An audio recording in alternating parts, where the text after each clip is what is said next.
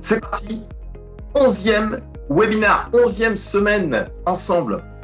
je, suis, euh, je suis comme un fou là pour aujourd'hui parce que euh, j'ai un invité qui est un invité euh, particulier. On va en parler dans quelques instants. je suis comme un fou parce que il va y avoir d'autres pistes pour pouvoir vous en sortir aujourd'hui. Et il va pas y avoir que ça vous vous souvenez, les, replays, vous les avez peut-être vus, vous avez peut-être suivi nos, nos webinaires en, direct. Bah, au, cours de ces webinaires, on a, eu plein d'invités. Et certains invités nous ont euh, stimulés de par, euh, de leurs paroles, de par leur expérience. C'était le cas notamment de, Claire Street sur le premier webinaire. On a eu aussi des patrons de club euh, comme Cédric Roptin, qui est, venu pour, euh, pour nous raconter un petit peu comment euh, il voyait le secteur d'activité et comment, selon lui, euh, tout allait avancer. On a eu des consultants comme Pierrick Limousin, si vous vous souvenez bien, qui nous donnait son idée un petit peu du, secteur d'activité. Et puis, on a eu aussi pas mal d'intervenants qui nous donnaient des outils pour pouvoir faire en sorte que vous vous en sortiez. Alors, on a eu notamment Grazia Deloglio avec la PNL, l'hypnose. On a eu euh, Fabien Garretz euh, qui nous a parlé euh, de la façon dont on devait se, filmer avec plein d'astuces. On a eu Jérôme Poison avec le coaching à distance. Et puis on a eu Flavien, Flavien Chauvin qui nous a parlé des, plateformes, notamment du, coaching. bref, la semaine dernière, on était sur le digital. Et puis voilà, donc on, on, a essayé de faire en sorte de vous apporter, avec tous les intervenants que j'ai invités, de vous apporter tout ce qu'il fallait pour que vous puissiez rebondir facilement. Et là, ce soir, eh bien, j'invite, j'ai invité euh, euh, Philippe Béja, que vous connaissez peut-être pour certains d'entre vous ou peut-être pas, et qui, euh, en fait, je l'ai invité pour trois raisons. La première raison, c'est notamment par rapport à son passé. Et il va vous raconter durant ce webinaire comment ça s'est passé pour lui, parce que il a vécu des galères, mais des galères de dingue il a vécu galère sur galère. Des galères qui l'ont mis, mais vraiment très très bas. Il vous en racontera, il vous racontera quelques briques tout à l'heure, quelques anecdotes. Euh, vous allez comprendre que euh, bah, le fait que parfois on soit euh, dans des situations qui peuvent pas être forcément toujours super super agréables d'un point de vue financier, bah, on peut quand même s'en sortir. Il vous racontera ça. Et puis la deuxième raison, c'est surtout parce que c'est un patron de club. Il a, a eu déjà un club de fitness, il a un centre aquatique, un club aquatique, et puis là, il est en train de développer autre chose. On en parlera aussi. Euh, une petite surprise pour la fin, surtout restez jusqu'au bout parce que c'est important. Vous allez kiffer ce qu'on va vous donner euh, comme type d'astuce, comme type de voie de sortie pour la fin. Et puis, non seulement donc il a il a été patron de club, donc il va nous donner sa vision de, de notre secteur d'activité, que ce soit les coachs ou pour les coachs ou pour et enfin, donc à la fin, un outil qui va, euh, franchement, qui va vous sortir de la panade pour ceux qui vont accrocher sur cet outil. Vous allez comprendre très très rapidement comment ça peut vous permettre de vous en sortir. Alors, euh, Philippe, bonsoir. Tu, euh, tu nous as fait l'honneur d'être là ce soir et j'aimerais simplement que pour commencer, en fait, tu te présentes tout simplement à, tous nos auditeurs. Donc, euh, bonsoir Christophe, euh, je te remercie de, m'avoir invité et bonsoir à tous. Et donc, euh, bah, je, me, voilà, je, suis, Philippe, Philippe Béja. je vais vous donner mon âge. Alors, on me dit souvent, ah, j'ai 54 ans. Je vais vous donner mon âge, c'est de façon aussi pour que vous puissiez comprendre que j'ai un petit peu d'expérience et beaucoup, beaucoup de vécu. Et donc, euh, je suis un serial entrepreneur depuis l'âge de 18 ans, avec toutes les péripéties que peut rencontrer un entrepreneur.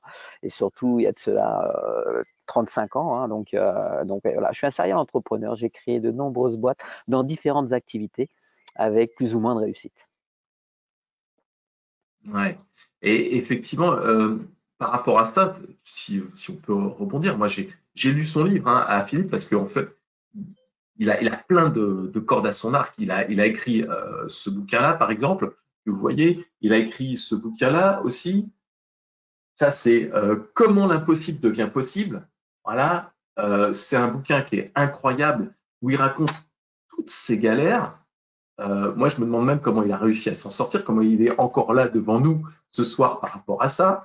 Et puis, il, a fait aussi un spectacle. Il a fait un spectacle qu'on vous mettra d'ailleurs en lien le, sous la vidéo dans, sous, YouTube. Il est, bah, c'est un couteau suisse, en fait, Philippe. C'est un couteau suisse et c'est quelqu'un qui, malgré les galères, a réussi à s'en sortir. Donc, je me suis dit, euh, tiens, euh, Philippe, euh, est-ce que tu peux éventuellement nous raconter déjà comment ça s'est passé pour toi? Parce que peut-être que certains d'entre vous, actuellement, sont aussi dans des difficultés et que c'est pas forcément rose tous les jours. Ah ouais, on en est quand même au troisième mois et troisième mois où les clubs sont fermés. Donc, les revenus peuvent être relativement bas pour certains. Et je sais d'ailleurs que des coachs sont ils le disent avec pudeur quand même, hein, euh, ils me le disent en, message privé, sont euh, dans le découvert, sont dans le rouge actuellement, en découvert bancaire. Donc, euh, Philippe, est-ce que tu peux nous dire, est-ce que tu peux nous raconter qu'est-ce qui s'est passé dans ta vie qui tu racontes dans, ce, cas-là? Et il y aurait tellement de choses à dire, mais est-ce que tu peux nous dire quelles sont les galères que tu as vécues? Donc oui, c'est vrai que alors je comprends euh, cette période difficile pour, euh, pour beaucoup. Hein, euh, j'ai beaucoup de confrères. Alors, vu que je suis chef d'entreprise depuis un certain nombre d'années, j'ai aussi aidé des, clubs, j'ai aidé des, chefs d'entreprise à développer leur business, soit des restaurateurs et autres. Et donc, j'ai gardé des liens avec eux et tout le monde est un petit peu, on va dire, c'est un, moment difficile. Moi, l'impact du confinement, déjà l'impact du confinement m'a replongé émotionnellement dans mon passé. Alors j'ai réalisé, j'ai dû faire, hum, j'ai compté la dernière fois, je crois que j'ai fait 34 métiers différents. Donc suis vraiment un couteau suisse. Et donc euh, j'ai fait 34 métiers différents, beaucoup dans le domaine de la vente. Et après euh, j'ai fait aussi des métiers, des, métiers, je ne veux pas dire euh, que personne n'aimerait faire ou j'ai bah, éboueur, j'ai travaillé dans les égouts, donc j'ai fait beaucoup de métiers. Mais j'ai commencé à être chef d'entreprise à l'âge de 18 ans. C'est-à-dire qu'à l'âge de 18 ans, je, ne peux pas vous expliquer pourquoi, mais il y a quelque chose qui m'anime au fond de moi. C'est le titre du bouquin. C'est je cherche toujours à faire en sorte que l'impossible devienne possible. C'est-à-dire que euh, je, crois que j'ai vu un film une fois, euh, il suffisait de dire une phrase à l'acteur principal euh, et tout de suite il se mettait, il se lançait, il se mettait des challenges. Eh bien moi, dès qu'on me dit que c'est pas possible, dès qu'on me dit que c'est pas possible que je puisse y arriver, que c'est pas possible que j'arrive à, construire ça ou à monter telle activité, eh bien ça me met un coup de pied aux fesses, mais un truc de fou et j'y vais. Et donc à l'âge de 18 ans, j'ai créé ma première société en nom propre dans le domaine de l'événementiel où euh, j'avais décidé d'être disque jockey. Vous allez me dire, c'est simple, c'est banal. Sauf a 35 ans, il n'y avait pas le numérique. Hein. on n'avait pas tout le numérique avec nous. C'est-à-dire que quelqu'un qui connaît pas de DJ, qui allait très peu en discothèque, qui était timide, qui côtoyait personne, qui avait peu de copains, euh, décide d'être DJ. Donc euh, j'ai mixé, mixé, mixé, mixé, j'ai appris, j'allais en boîte, mais j'allais pas en boîte pour danser et apprendre, euh, pour danser plutôt et, boire un verre ou m'amuser. J'allais en boîte pour apprendre. C'est-à-dire que j'étais toujours le gars qui était toujours à côté du DJ et qui regardait, qui regardait, qui regardait. Je regardais tout le temps comment il mixait. J'écoutais les sons qu'il avait mixés et je refaisais ça chez moi, chez moi, chez moi. Et c'est pour venir un petit peu à, quelque chose que j'aborderai plus tard dans le webinaire. Mais et donc j'ai répété, j'ai mixé, j'ai mixé, j'ai mixé. Un jour, j'ai dit bah je vais me lancer, je vais faire une soirée, euh, je vais prendre des flyers, je, suis allé dans la rue, j'ai fait du street marketing, j'ai pris, j'ai imprimé des flyers, une photocopieuse, ta ta ta tac. Et puis j'ai donné ça à des copains, venez à ma soirée, venez à ma soirée, ils rigolaient, ils soutaient de moi, ils disaient toi tu mixes, toi tu mixes. Et puis j'ai fait ma première soirée et j'ai fait un carton. Alors attention, hein, il n'y avait pas 300 personnes à, ma première soirée. Je crois qu'on était 30, 30, 40. Mais le fait d'avoir mixé du bon son, des choses qu'ils n'avaient pas l'habitude d'entendre, ou alors qu'ils ils entendaient ça, euh, c'était l'époque d'énergie, des, vraiment démarrage d'énergie. Je vous parle de 83 quand même, 83, 84. Donc euh, ça commence à, compter.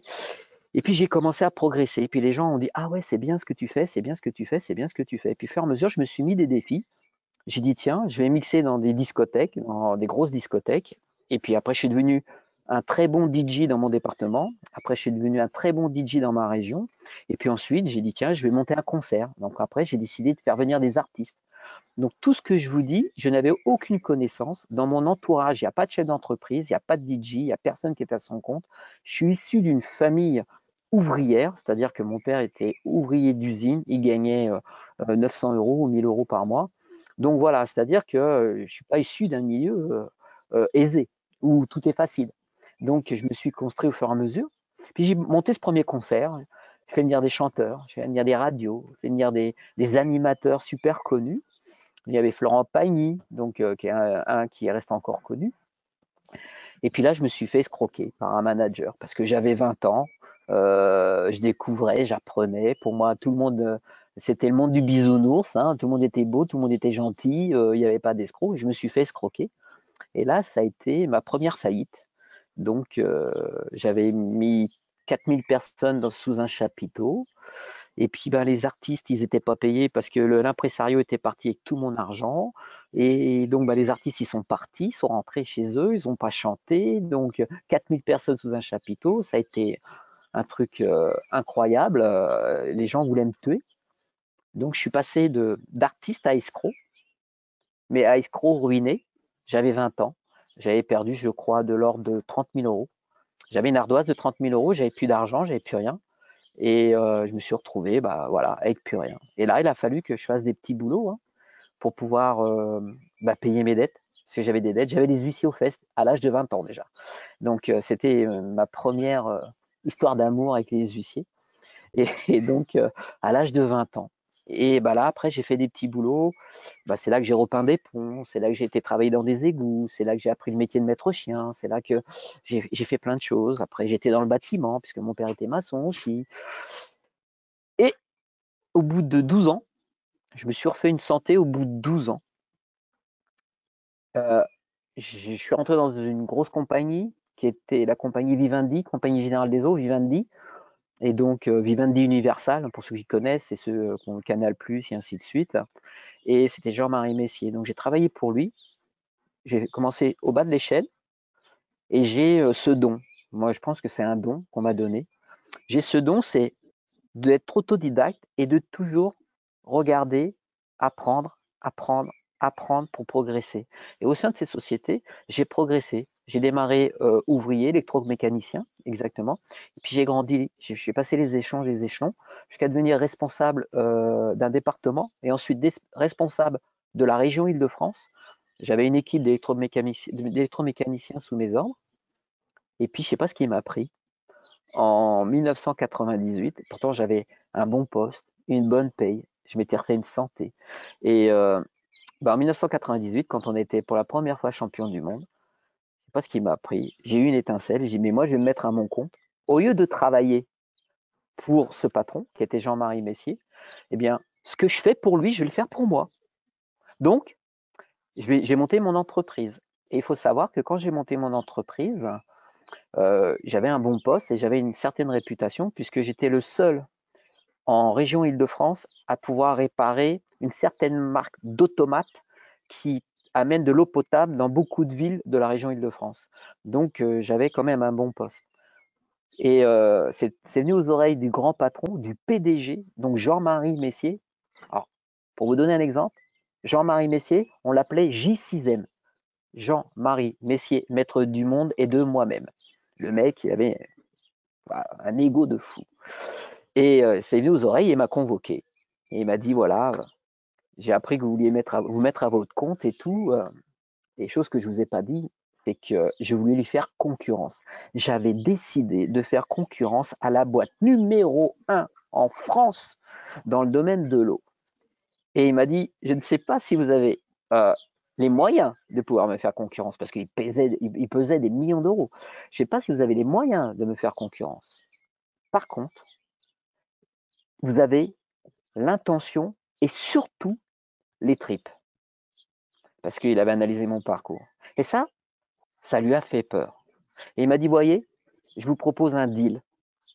vous oubliez de me faire concurrence et je vous mets sous-traitant numéro un de toute la Compagnie Générale des Eaux en France et euh, vous allez remplir votre carnet de bons de commande. Et ça s'appelle la loi des 5 secondes. Écoutez bien cette loi de 5 secondes. C'est-à-dire que quand on doit prendre une décision, bien souvent on réfléchit, on réfléchit, on réfléchit, on la prend jamais cette décision. Moi, j'ai un truc. Je fais 5, 4, 3, 2, 1. Ma décision est prise et je la donne. Et donc, en 5 secondes, je signe. J'ai signé, je n'ai pas fait concurrence. Il m'a ouvert les portes de beaucoup d'agences en France. Et mon entreprise où j'ai démarré tout seul, avec pas d'argent, est passée de moi à 25 salariés en un laps de temps de 12 mois, je crois. Et je travaillais partout en France, du fait d'avoir validé ce contrat. Donc, de là, bah, j'avais une boîte qui tournait. Euh, sincèrement, je roulais avec des voitures de sport allemandes, tout, euh, tout. J'avais des associés, c'était euh, mes meilleurs amis. Et puis, bah, au fur et à mesure, au bout de trois ans, ça marchait tellement bien, mais tellement bien, que bah, tout le monde a pris la grosse tête et puis on a confondu chiffre d'affaires avec bénéfice. Et Christophe, ouais, un classique.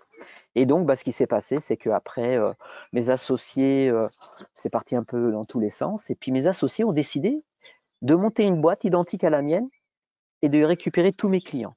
Donc là, la descente en enfer, je me suis retrouvé devant le tribunal, devant un, juge, et euh, je me suis retrouvé accusé de d'abus de biens, d'abus de biens social. Abus de biens social ou sociaux, je ne me rappelle plus bien sociaux. Voilà. Et donc, euh, j'ai eu 10 ans d'interdiction de gestion. J'ai euh, évité la prison de justesse parce que euh, je ne savais pas, mais c'était moi le patron, mais mes associés faisaient des fausses factures. Et donc, quand je suis passé dans le tribunal, ils ont épluché tous les documents. Et vu que j'étais moi le responsable, ils m'ont tout mis sur le dos.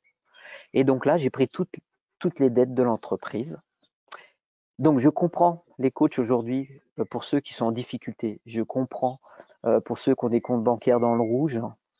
Euh, j'espère que vous n'avez pas autant de dettes que moi j'ai eu parce que c'était des centaines de milliers d'euros de dettes, des centaines de milliers d'euros de dettes que j'ai eu en 2003. En 2003, avec une accusation en plus d'escroc. Deuxième fois de ma vie. Euh, mais là, euh, au tribunal et ainsi de suite. Donc, ben, je me suis retrouvé avec plus rien. Entre-temps, bien évidemment, quand ça ne va pas en affaires, eh bien, ça ne va pas forcément euh, dans le domaine de sa vie personnelle. Donc, de l'autre côté, j'avais essuyé aussi des séparations. Donc, je crois que j'en étais à ma quatrième séparation.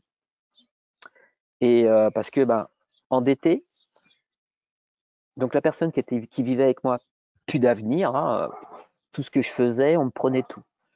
Jusqu'au jour où je suis tombé sur euh, une amie avocate qui m'a dit, mais tu t'en sortiras jamais, jamais tu t'en sortiras, parce que c'est voilà, c'était plus de 300 000 euros de dette quand même que j'avais. Et elle m'a conseillé de me faire oublier. Et donc de se faire oublier, c'était de partir, il y en a pour certains, c'est de partir à l'étranger, partir dans un autre pays, de changer de nom. Bah non, moi, je ne pouvais pas faire ça. Il fallait que je me fasse oublier socialement. Alors, se faire oublier socialement, ça veut dire qu'aujourd'hui, en France, on a tous une carte vitale avec un numéro de sécurité sociale. Quand on est salarié quelque part, bah, ce numéro de sécurité sociale il nous sert partout. Il nous sert euh, bah, pour soigner, mais c'est aussi un traceur. Et ben moi, euh, il, a fallu, il fallait que je me fasse oublier avec ce numéro-là, c'est-à-dire que je devienne plus personne. Il fallait que je, n'utilise plus ma carte euh, vitale, que je sois plus du tout salarié, que je n'ai plus de compte bancaire. Et c'est de là que je suis devenu, entre guillemets, un sans domicile fixe. Je n'avais plus rien. Et j'étais personne. Tu n'avais plus de copains, tu n'avais plus d'amis, hein, je crois, tu, tu, en parles dans ton livre. Hein d'amis, euh, tout le monde te fermait la porte au nez. Euh, quand tu avais euh, dans ton livre, tu le dis bien, quand par exemple tu avais une petite amie, les, copains autour lui lui disaient que tu étais que, que, un bon à rien, que tu que elle n'avait pas d'avenir avec toi ou ses parents ou ça. Hein, et, finalement, au bout du compte, toutes ces dettes accumulées et, les huissiers que tu avais, bah, enfin, cette épée, cette épée de Damoclès que tu avais au-dessus de toi avec tous ces huissiers, toutes ces dettes, faisait que tu pouvais même pas avoir de compte bancaire. Parce que si tu mettais quelque chose sur ton compte bancaire, un salaire ou un petit peu d'argent, tout de suite, c'était euh, pris par, euh, par la banque euh, avec des, avis à tiers détenteurs pour, pour, pour payer ces, ces, ce gouffre de dettes. C'est exactement ça. C'est-à-dire que tu as raison plus d'amis, hein, puisque j'ai déménagé, j'ai changé de, prénom, pas de nom de famille, mais euh, euh, les dix ans qui ont suivi euh, ce moment très difficile de ma vie, beaucoup de personnes autour de moi, même toi, je crois, m'appellent Gilou, alors que mon, c'est un surnom que beaucoup connaissaient dans, le monde du sport. Donc plus d'amis, plus de petits amis, plus de compte bancaire. et en, plus, j'avais vendu tout ce, qui me restait. C'est-à-dire que les cadeaux qu'on m'avait fait, des livres, hein, euh, je faisais des brocantes pour, vendre. Euh, j'allais cueillir euh, du muguet pour pouvoir le vendre devant des boulangeries. je faisais des vendanges. J'allais cueillir des jonquilles pour pouvoir le vendre aussi devant les boulangeries moi qui euh, euh, générais euh, des centaines de milliers d'euros de chiffre d'affaires à l'année, qui roulait, qui avait résidence secondaire, qui partait en week-end tout le temps, qui roulait avec des voitures de sport allemandes, du jour au lendemain, tu te retrouves à moins que rien, quoi. Et le pire, c'est que tu as mis des gens au chômage, j'avais quand même plus de 25 salariés, et que ces salariés-là te retrouvaient, te voyaient pendant les brocantes et te dénigraient parce que pour tout le monde, tu étais un escroc, alors que tu y étais pour rien, mais pour tout le monde, tu étais un escroc. Donc euh, le, regard des, le regard des gens me faisait très mal. Et ce qui s'est passé, c'est que je me suis mis enfermé dans une bulle, vraiment, dans une bulle pour, euh, pour plus qu'on m'atteigne et euh, pour plus que le regard des autres me touche. Donc j'étais dans ma bulle et j'avais un regard triste, plus d'avenir. Je, je voyais tout en noir, tout sombre et je me laissais vivre et, même pas vivre, survivre. Et j'ai eu parfois et même souvent des idées sombres du style mais quoi ça sert quoi? Et un jour, un jour pour, euh, pour te, te, changer un peu les idées, tu, tu, vas dans un club de fitness qui était euh, dans Lyon sur Sens. Hein. Euh, tu, tu, vas, tu t'inscris en fait, ou alors es, non, même, même tu, tu es proposé, il te propose quelque part de, de venir bénévolement, je crois que tu le fais bénévolement, de venir travailler bénévolement dans ce club de fitness et comment ça se passe? Alors en gros, euh, je me suis donc, j'avais une telle rage, une telle énergie euh, qu'il fallait, j'allais tuer tout le monde. Hein. Moi, je croisais quelqu'un dans la rue, je le tuais. Tellement j'étais, j'étais, j'aimais pas cette injustice qui m'était arrivée et j'avais la, rage. Et donc il fallait que j'évacue ça. Et euh, j'ai une, une amie, une copine, qui m'a payé mon abonnement de sport, c'est-à-dire qu'elle a donné son RIB pour qu'on puisse prélever mon premier abonnement de sport. Alors vu que j'avais que ça à faire, parce que bah, c'était génial, il y avait des douches dans la salle de sport, donc je pouvais me laver. Et donc, euh, et en même temps, je pouvais évacuer cette rage. Donc, bah, la première fois que je suis rentré dans une salle de sport, je pesais 50 kilos, j'étais tout sécos comme ça, j'y connaissais rien du tout. Je suis arrivé devant une machine, j'ai pris les poids, les haltères dans tous les sens, je m'épartais dans tous les sens, quoi. C'était n'importe quoi. Mais le patron du club, il était déjà, il voulait déjà me conseiller parce que je faisais un peu n'importe quoi quand même. Hein. Il avait peur pour moi. Et donc, il voulait me conseiller et j'ai envoyé bouler, j'ai envoyé bouler. J'ai dit, mais non, c'est bon, lâche-moi, lâche-moi. Moi, je paye un abonnement, c'est pour qu'on me laisse tranquille. OK? Tu vas dans ton coin, tu me laisses tranquille. Et là, je parlais à un champion du monde de pancras. Tu connais peut-être un, art, martial. Euh, c'est des clés pieds-points. Et donc, un champion du monde de pancras. Et il me voyait m'énerver, m'énerver, rage. Et je faisais 4 heures de sport, 4 heures de sport par jour, alors que j'y connaissais rien. Mais j'avais besoin d'évacuer cette rage. Et puis un jour, il m'a pris en, jogging. Il me dit Viens courir avec moi. Alors moi, le jogging, c'était pas mon truc. Et puis on a enchaîné 12, 13, 14 km comme ça. J'étais épuisé. Puis au fur et on a discuté. Et de là, il m'a appris, sincèrement, je pense que j'ai appris pendant deux ans Pendant deux ans, j'ai appris tout ce qui était, tout ce qui concernait la musculation et le fitness. Je l'ai appris grâce à lui. Il était STAPS et j'ai tout appris. J'ai tout appris avec lui. C'est-à-dire que je m'entraînais quatre heures par jour. Il m'apprenait tout de pourquoi je faisais ce mouvement-là, de pourquoi j'allais me faire mal, de ça servait à rien de faire ceci, mais pourquoi je, faisais autant de répétitions alors qu'il valait mieux descendre un peu plus bas. Tout. Et jusqu'au jour où il m'a dit, mais tu as une telle rage que euh, c'est pas possible. Comment je peux t'aider à canaliser ça? J'ai parlé un peu avec lui de mon passé. Il me dit, bah, je vais t'aider, je vais te donner un métier, euh, tu vas vendre des abonnements. Mais au début, que j'étais pas euh, excellent vendeur, bah, j'ai vendu des abonnements bénévolement. C'est-à-dire que j'ai travaillé pendant 18 mois dans sa salle de sport, bénévolement, mais j'ai appris le métier de coach, commercial, je suis devenu son meilleur vendeur.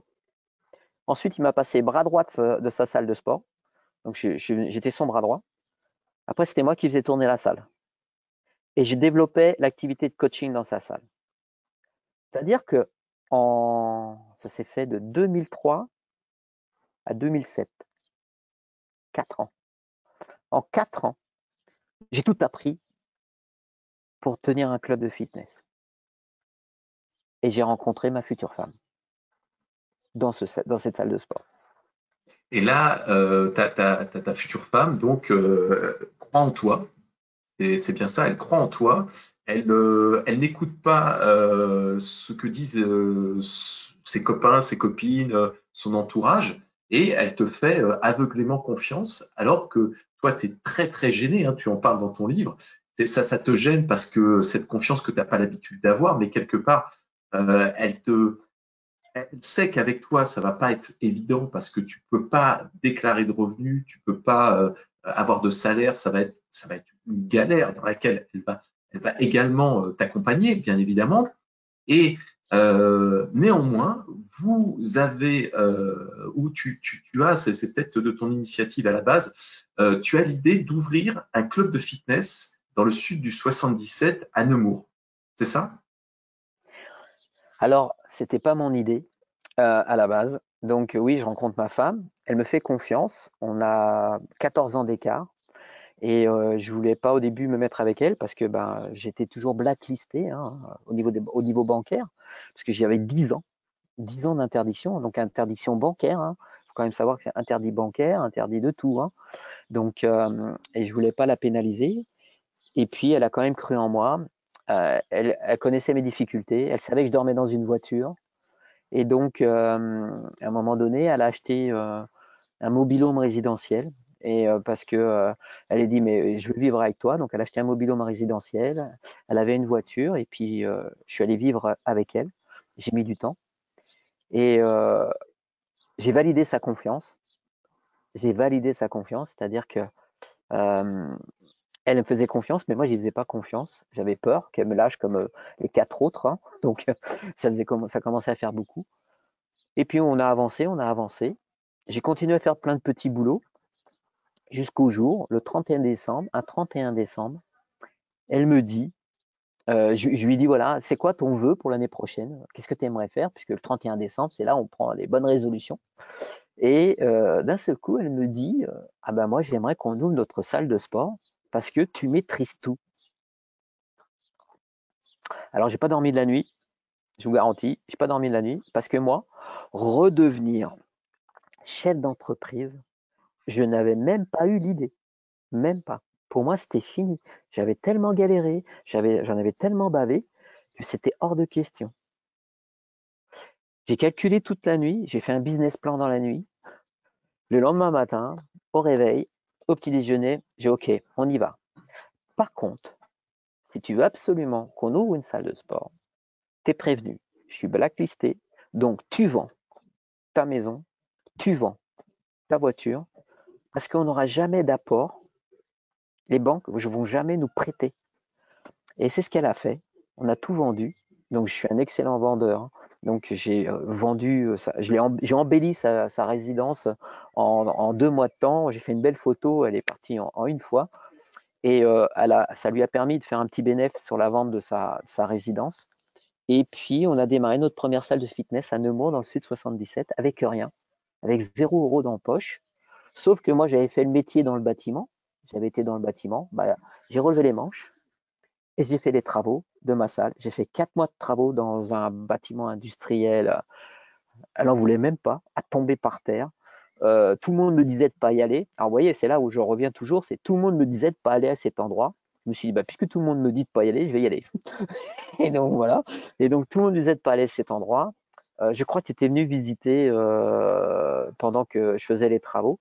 Et on s'était rencontrés pour la première fois à ce moment-là, dans cette petite. Tu avais du plâtre partout. Tu étais en train de mettre du, du BA13 partout, tu avais du plâtre sur le nez, sur la tête. En fait, il avait les cheveux beaucoup plus blancs qu'aujourd'hui. C'est là qu'on s'est connus, ouais. C'est vrai, tout à fait. Et donc, euh, j'ai commencé à. Alors, donc, puisque je savais tout faire, je savais vendre. Euh, je savais m'occuper des clients euh, sur un plateau. Je ne savais pas donner cours collectif, mais ça, je l'ai appris avec mon club. Et, donc, bah, j'ai formé une équipe. alors, même pas. C'est que je suis parti du principe que je savais vendre, mais que l'équipe que j'allais recruter, je me suis dit, ben, je vais faire table rase de tout ce que j'ai appris, de tout ce que je sais, et je vais investir dans une formation avec un nouveau formateur pour qu'il forme mon équipe au lieu que moi je les déforme. Il va les former et je vais regarder et ensuite je vais y mettre ma patte. Et ça a été d'une puissance mais redoutable. J'avais un concurrent qui ouvrait juste en face de moi, un low cost, je l'ai atomisé, atomisé. Et tout simplement parce que j'ai pris la décision de payer, c'est-à-dire que au lieu de mettre euh, des belles douches ou euh, un beau lavabo dans les vestiaires ou euh, de rajouter des, babioles dans mon club, j'ai dit ben, cet argent-là, je le prends et je le mets dans une formation pour mon équipe. Pourquoi? Parce que l'essentiel d'un club de fitness, pour moi, il y a en 2011, c'était de vendre, de vendre des abonnements. Si on ne vend pas, ça ne sert à rien que je fasse tout ça. Donc, c'était ma priorité. Et euh, on a explosé les compteurs. Explosé les compteurs. Je crois que le premier jour des préinscriptions, en plus, j'avais fait des préinscriptions parce que je n'avais pas d'argent. Donc, il fallait que je fasse rentrer un peu d'argent avec les frais d'adhésion. On vendait avec des frais d'adhésion. Ça me permettait de finir les travaux. Eh bien, je crois que le premier jour, on avait vendu trois mois avant l'ouverture. Le premier jour, on avait fait 100, une centaine d'inscriptions en une journée. Au grand déboire du euh, grand dame du concurrent qui était en face et qui, par la suite, tu le dis dans ton livre, euh, t'a envoyé des, euh, des quoi, des comment est-ce qu'on peut les appeler? Comment tu les appelles dans ton livre? Moi, en gros, il m'a envoyé des gros bras pour me faire peur, pour me dissuader de ne pas ouvrir, pour me mettre des bâtons dans les roues et jusqu'à la menace de mort. Ah, c'est chaud. Hein. Et puis finalement, au bout du compte, euh, tu arrives à ouvrir ce club qui s'appelle Dynamic Fitness à Nemours. Euh, beaucoup d'adhérents. Il, y a, eu une, foule incroyable, tu en parles dans ton livre, euh, les, premiers jours d'ouverture. Et puis une ambiance, mais une ambiance de dingue, parce que ce club, je l'ai vu, j'étais dedans, j'ai observé, j'étais, je, je trouvais que il y avait une ambiance familiale qui était extraordinaire. La connexion, elle était là. Il pouvait y avoir que du réabonnement parce que tout se passait bien et tout le monde y vivait un peu comme sa troisième maison. On a sa maison, on a son travail, c'est son sa deuxième maison et le club de fitness était leur troisième maison. On voyait que euh, tout le monde s'entendait bien, il y avait, euh, il y avait de l'énergie, il y avait, il y avait de, de la bonne humeur. C'était, c'était vraiment hyper agréable à voir ça me rappelait euh, un club dans lequel j'ai commencé, dans lequel j'ai vécu, enfin j'ai passé 20 ans de ma vie, et je retrouvais cette ambiance familiale que tu avais réussi à mettre, parce qu'en fait, je pense que c'est parce que tu le faisais avec le cœur. C'est-à-dire que tu ne le faisais pas pour vendre, même si tu vendais, parce que forcément c'est une entreprise, mais il y avait, y avait au plus profond de toi cette passion que tu avais vraisemblablement développée dans le club de Lyon, où tu, tu as parlé tout à l'heure, tu as vécu quand même pas de temps, où tu t'es formé globalement, et il y avait ce qui allait avec toi, cette passion, cette joie de vivre. Euh, tu avais tout temps le smile, et euh, c'était un endroit qui était extraordinaire. Pour moi, c'était, ça n'avait rien à voir avec les clubs dans lesquels, dans lesquels j'allais majoritairement, sauf un où j'étais dans le 77, qui, dans lequel on retrouvait un petit peu cet esprit-là. Donc c'était, tu avais réussi à mettre vraiment un esprit incroyable dedans. Euh, alors, on, va revenir sur la suite de tes projets parce que ça, Dynamic Fitness, euh, par la suite, tu l'as revendu et tu as rebondi sur autre chose. On va en parler dans quelques instants. Mais vous voyez, par rapport à toutes ces galères, il a quand même dormi dans sa voiture. Il avait les huissiers au derrière. Il ne pouvait pas avoir de compte bancaire, donc il ne vivait qu'avec des, morceaux de, ficelle, avec des bouts de ficelle, quoi. En vendant du muguet, en, en allant euh, cueillir du muguet dans les bois pour le vendre, se faire un petit peu d'argent, pour revendre ses biens sur des brocantes, pour se faire un petit peu d'argent, pour survivre, parce que c'était, euh, on, le sent dans son livre, hein, c'est euh, essayer de survivre par rapport à, toutes, toutes ces personnes qui l'accablent, que ce soit plus d'amis, que ce soit euh, son entourage, que ce soit même son papa qui à un moment donné est, décédé et malheureusement c'est comme ça. Et en fait, globalement, il arrive à rebondir et à créer un club qui est incroyable. Alors, si tu devais, euh, si tu devais donner en fait des, euh, des conseils aux coachs qui aujourd'hui sont, sont un peu dans la galère. Alors, tu vois, j'ai euh, pris un, des exemples de ton livre parce que ça se lit super bien, c'est très très court. Il y a toujours une bonne parole, toujours une parole qui va bien. Et il y en a une parmi tant d'autres, je pourrais vous en citer plein, mais il y en a une qui m'a quand même euh, bien plus, c'est cela semble toujours impossible jusqu'à ce qu'on le fasse. Cela semble toujours impossible jusqu'à ce qu'on le fasse. Et c'est Nelson Mandela, il a, euh, ça, vient de Nelson Mandela, Mandela cette phrase, et euh, en fait, ça résume quelque part pour moi un petit peu ton parcours. C'est que tout ce que tu vivais, tout ce que tu essayais de mettre en place ou que tu aurais pu mettre en place pour rebondir euh, ça te paraissait impossible. Et pourtant, à un moment donné, tu es tellement allé, tellement allé, tellement allé, et tu as eu tellement d'espoir, et tellement tu l'as fait avec le cœur, que finalement, eh ben, ça s'est fait.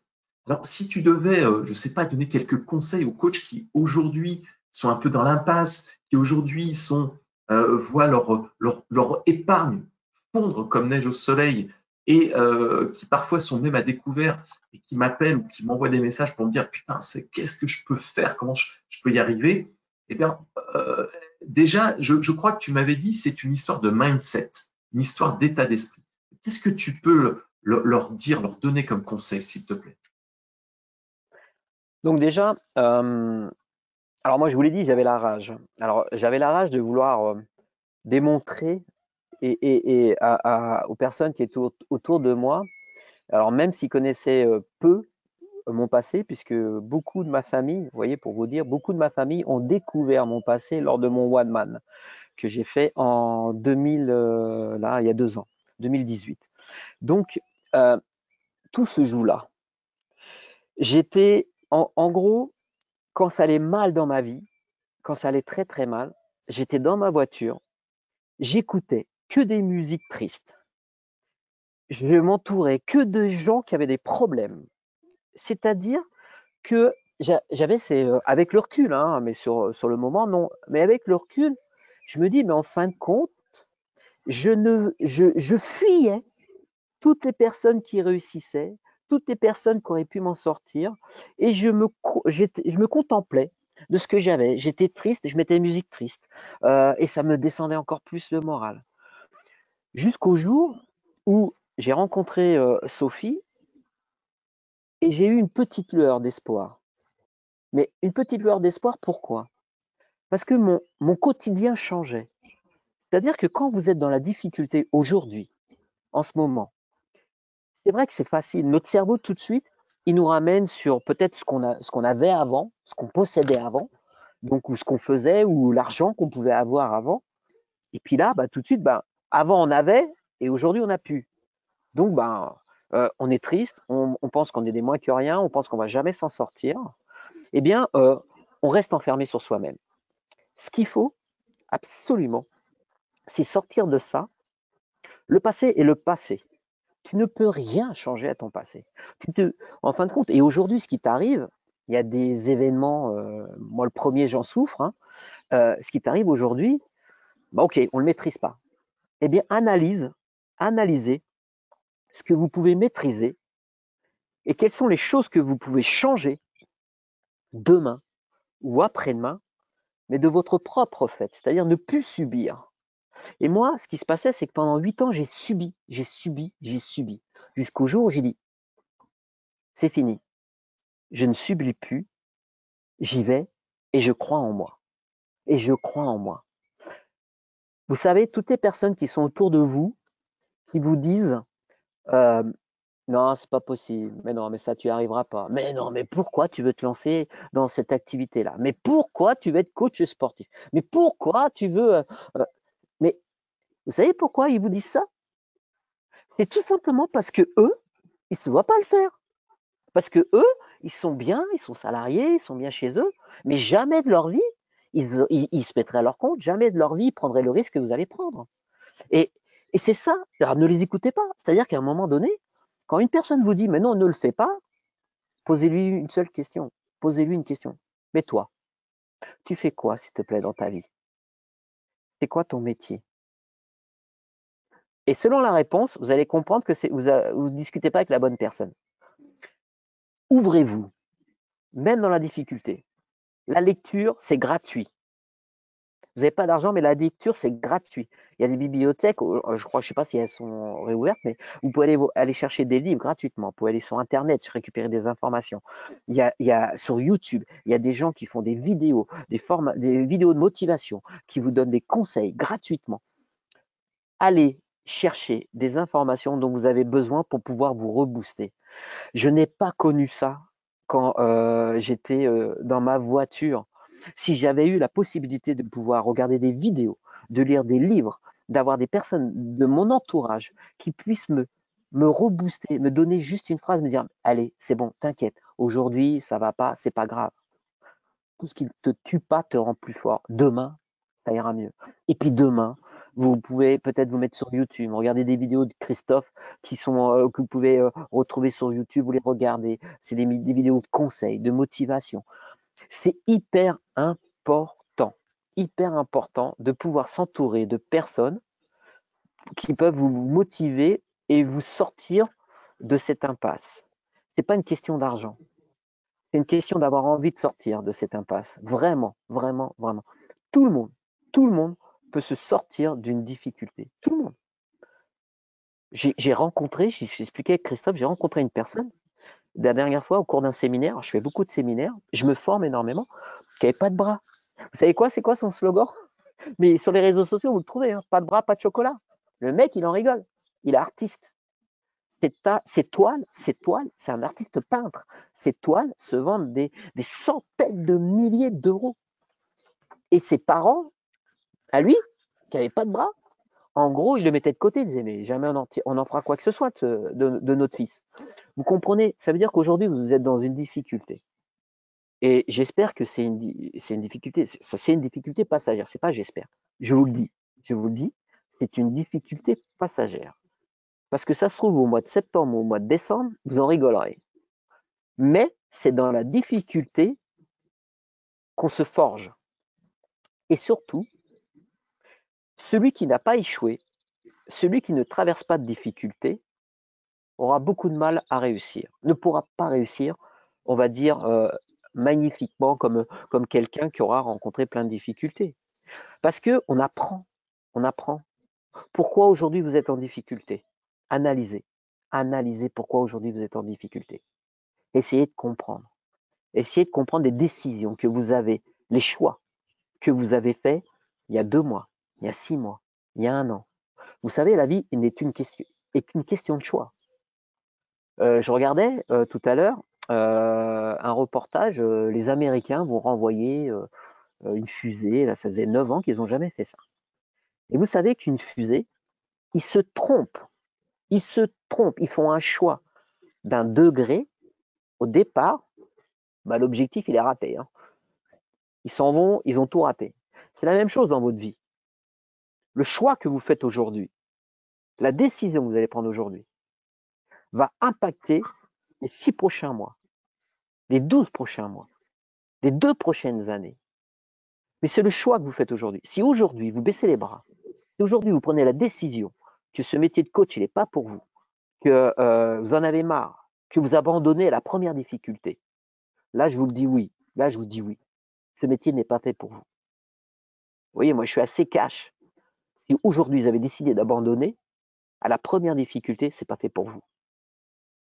Prenez, faites le choix d'aller choisir la sécurité. Parce que c'est peut-être votre tempérament. Attention, il ne faut pas aller contre son ADN. Moi, je suis un serial entrepreneur, je prends des risques. Ça me motive. C'est mon challenge. Mais aujourd'hui, j'ai rencontré des coachs où leur ADN, c'est plus la sécurité. Donc, à un moment donné, vous devez prendre un choix vous dire, bah, je suis beaucoup plus serein, je suis beaucoup plus tranquille quand j'ai la sécurité. Donc, regardez comment vous pouvez avoir une certaine sécurité. Mais si vous abandonnez aujourd'hui, vous allez le regretter dans un an, dans deux ans, dans trois ans. Il y a beaucoup de projets qui ont été abandonnés et c'est des projets magnifiques. Bill Gates, il aurait pu abandonner. Il n'a pas abandonné.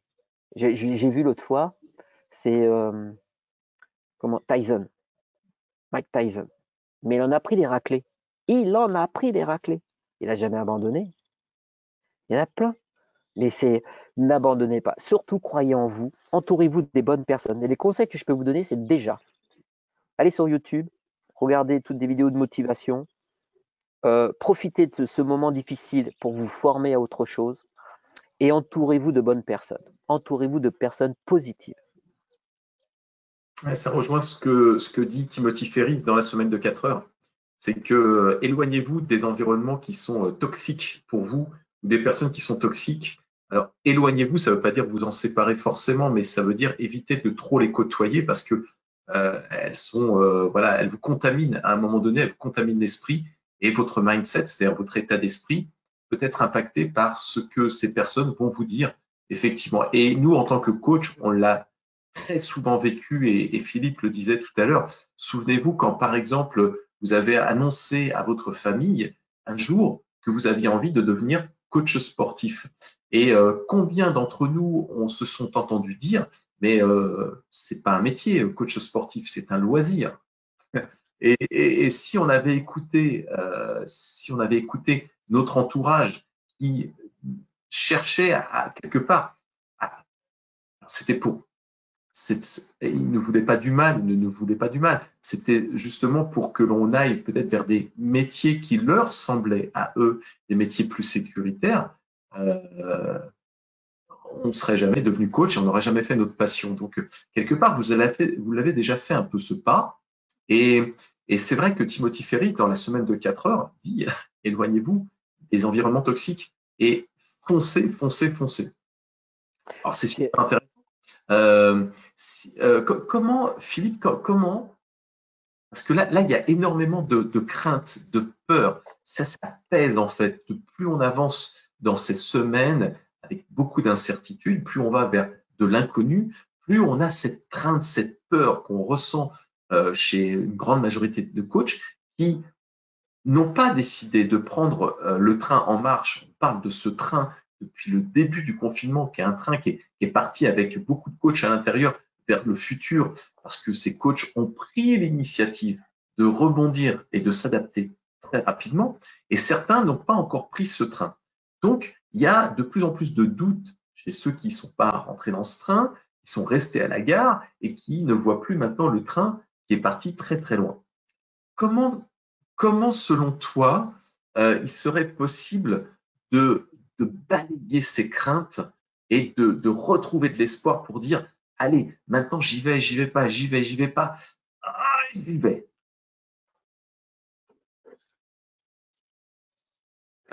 Alors ça, c'est un livre, ça s'appelle Passer à l'essentiel. The One Thing. Passer à l'essentiel.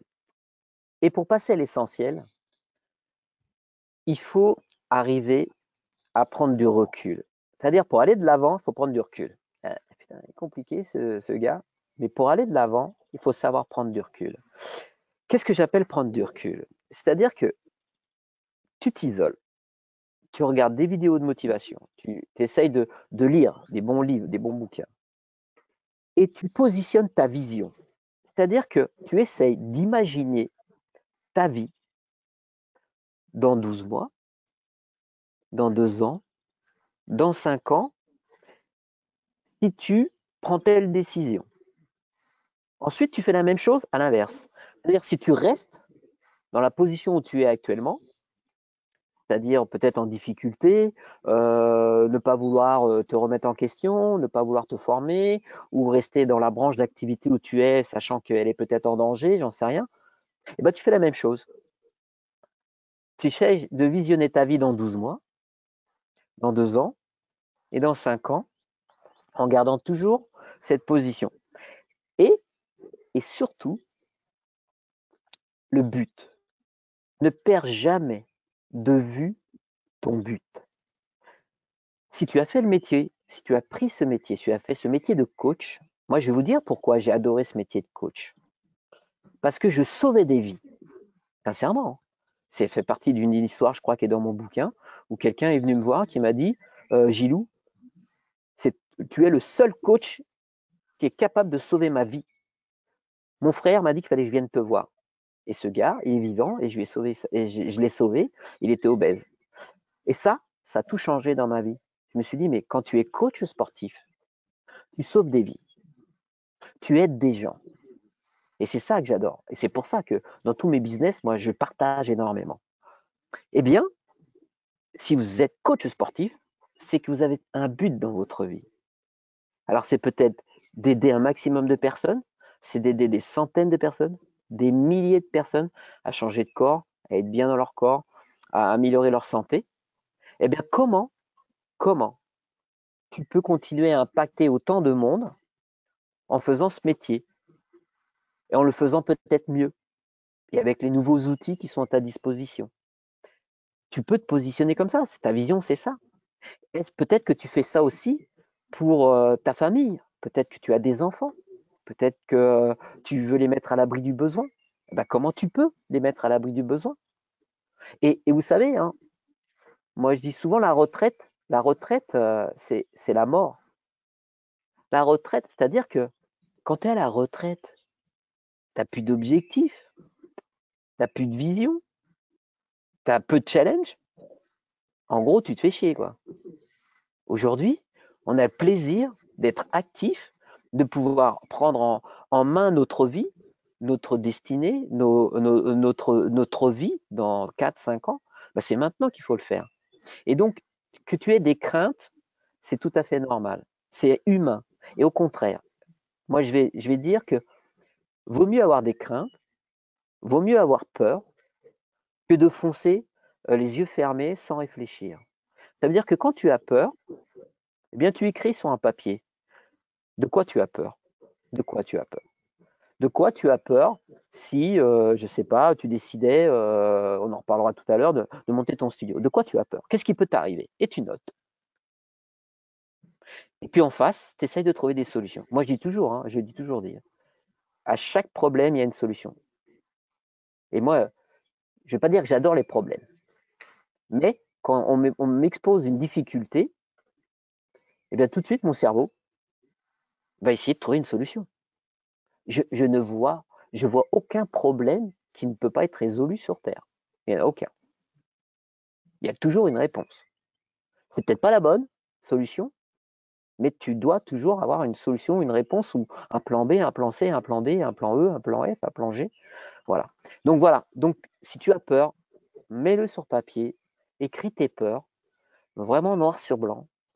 Tu dois en prendre conscience et tu dois t'interroger sur ces peurs. Parce que bien souvent, ces peurs viennent d'un passé. Euh, moi, j'ai eu peur. J'ai pleuré pendant le Covid. J'ai pleuré pendant le confinement. Quand on m'a arrêté mon activité, j'ai pleuré. Parce que j'ai eu peur. Toutes mes peurs passées sont arrivées. Je me suis dit, mais mince, je vais redevenir SDF avec ma famille, avec ma fille de 9 ans, avec ma femme. On va tout perdre. On ne sait pas que j'ai pas eu peur. J'ai subi comme tout le monde. Et pourtant, j'ai analysé et j'ai cherché à aller à l'essentiel, à l'essentiel. Comment je peux sauver mon business? Comment je peux sauver mon activité? Donc là, maintenant, on prend les chiffres, on regarde. Ça, ça marche, ça, ça marche pas. Quels sont vos talents? Notez aussi de l'autre côté, quels sont vos talents? On a tous des talents. Quels sont vos talents? Comment vous pouvez associer vos talents avec votre but, votre métier? Comment vous pouvez essayer de faire un petit truc comme ça et puis ça sauve et en sortir quelque chose d'exceptionnel? Mmh. Donc globalement, euh, coach, là, ce que vous devez faire, c'est que vous devez essayer de vous séparer le plus possible du côté émotionnel pour laisser votre cerveau reprendre euh, la direction du, euh, de la logique, en fait, globalement, d'être beaucoup plus logique que dans l'émotion, dans la logique que dans l'émotion, d'être plus cartésien, on va dire, que dans l'émotion. Et quand, quand, vous avez la crainte de quelque chose, comme dit euh, Philippe, euh, vous prenez une feuille et vous mettez la crainte que vous avez et vous regardez quelles sont les conséquences et comment éventuellement vous pouvez euh, pallier à ces conséquences. Vous allez vous apercevoir que souvent ce sont des croyances. On a énormément de croyances et qui nous viennent comme ça, alors qu'en réalité, quand on met sur le papier, quand on conscientalise, quand on écrit sur le papier, quand on raisonne, qu'on met tout à plat, on s'aperçoit que parfois, ah, c'est pas si grave que ça, que les risques sont pas si importants et que globalement, bah, euh, ça rassure parce que ça nous permet de, de, rebondir, d'avoir un meilleur esprit, moins de crainte parce qu'on sait où on va. Et quand on, note des choses, on, est en train de dessiner un chemin vers lequel on va pouvoir éventuellement aller. Ça, ça nous donne une sorte de lampe euh, qui nous éclaire ce côté obscur vers lequel on n'osait pas aller parce qu'on ne voyait pas et ça fait toujours peur l'obscurité. Mais là, euh, en écrivant sur le papier, on éclaire le chemin et donc on voit où est-ce qu'on va pouvoir aller pas à pas. C'est super, c'est super important parce que là, c'est un super, un super tip, c'est une super astuce que, que, Philippe vient de nous donner parce que on s'aperçoit qu'il y a tellement de craintes souvent qui sont qui n'ont pas lieu d'être parce que ce sont des croyances limitantes et que euh, on peut exploser en vol ses craintes et reprendre le dessus et reprendre le contrôle. Ah, c'est cool, c'est vraiment très très cool. Alors, euh, merci pour, pour ça parce que je suis sûr que ça va, ça, ça, ça va motiver un maximum de, de coachs à rebondir. Euh, ce que je te propose, c'est que tu, nous expliques un petit peu comment toi tu as perçu euh, sommairement le, le secteur d'activité, comment tu percevais le secteur d'activité avant Covid et comment tu comment tu vois la suite, en fait, les semaines ou les mois à venir, parce que tu es quand même patron de club maintenant, et tu as quand même cette vision, parce qu'en plus, euh, tu n'es pas que patron de club, tu es consultant aussi pour, euh, pour, les, patrons de club. Hein. Donc, euh, comment, tu, comment tu as vécu, quelle était ta vision avant le Covid et quelle est ta vision pour après? Alors, en fin de compte, avant le Covid, pour moi, le marché du fitness était en France, en France, vraiment en plein essor, vraiment. C'est-à-dire qu'il y avait beaucoup de possibilités, euh, que ce soit d'ouvrir sa salle, des clubs low cost. Chacun commençait à trouver un positionnement intéressant. C'est-à-dire que ça fait un certain nombre d'années qu'on parle des low cost, des hyper low cost, mais ils ont, ils ont, pris, euh, ils ont pris place sur le marché. Ils ont donné envie à d'autres personnes, à, des personnes qu'on n'aurait jamais touchées euh, avec nos clubs traditionnels. Ils ont donné envie à ces gens-là de faire du sport. En plus, ces gens-là, après avoir goûté, avaient envie de voir autre chose. Ça veut dire qu'ils commençaient à aller de club en club. Le métier du coach, le métier de coaching, euh, bah, il y avait quand même, euh, on va dire, sur le marché, une grosse demande ils ont euh, une grosse demande, euh, les clubs, de, nous, patrons de club, on était en grosse demande de, coach, hein, euh, de plus en plus qualifiés en plus. Et pour moi, le marché du fitness était vraiment en plein essor. Pour preuve, moi, j'étais en train de lancer ma franchise, hein, donc j'étais en train de développer mon enseigne Dynamique quoi en tant que franchiseur. Donc, j'y croyais vraiment fortement. Hein, et pour, avant le confinement, j'avais déjà huit clubs en franchise qui étaient euh, sur les rails. Donc, ce confinement a un petit peu brisé euh, euh, bah, l'élan, l'élan de cette activité, mais surtout, pour moi, le, confinement, le Covid-19 a switché la consommation, la, façon de consommer le sport. C'est-à-dire que il s'est créé quelque chose. Il y a eu une étincelle dans la tête euh, de certains Français. Je ne peux pas vous donner le pourcentage, mais j'ai la sensation qu'aujourd'hui, le marché du fitness est un peu comme Nokia quand les smartphones sont arrivés. Ils ont dit, mais on ne veut pas en entendre parler, mais non, ça ne marchera pas, machin, ceci, cela. Et, Nokia n'a pas pris le virage. Et ils étaient en perdition. Et les smartphones sont sortis et ils ont tout explosé. Eh bien, aujourd'hui, le marché du fitness, c'est la même chose. C'est-à-dire qu'on a pris 90 jours d'arrêt, mais j'ai l'impression que ces 90 jours ont été, euh, c'est un cratère qui s'est creusé, c'est-à-dire un, véritable tremblement de terre, et ça a creusé vraiment un cratère, vraiment.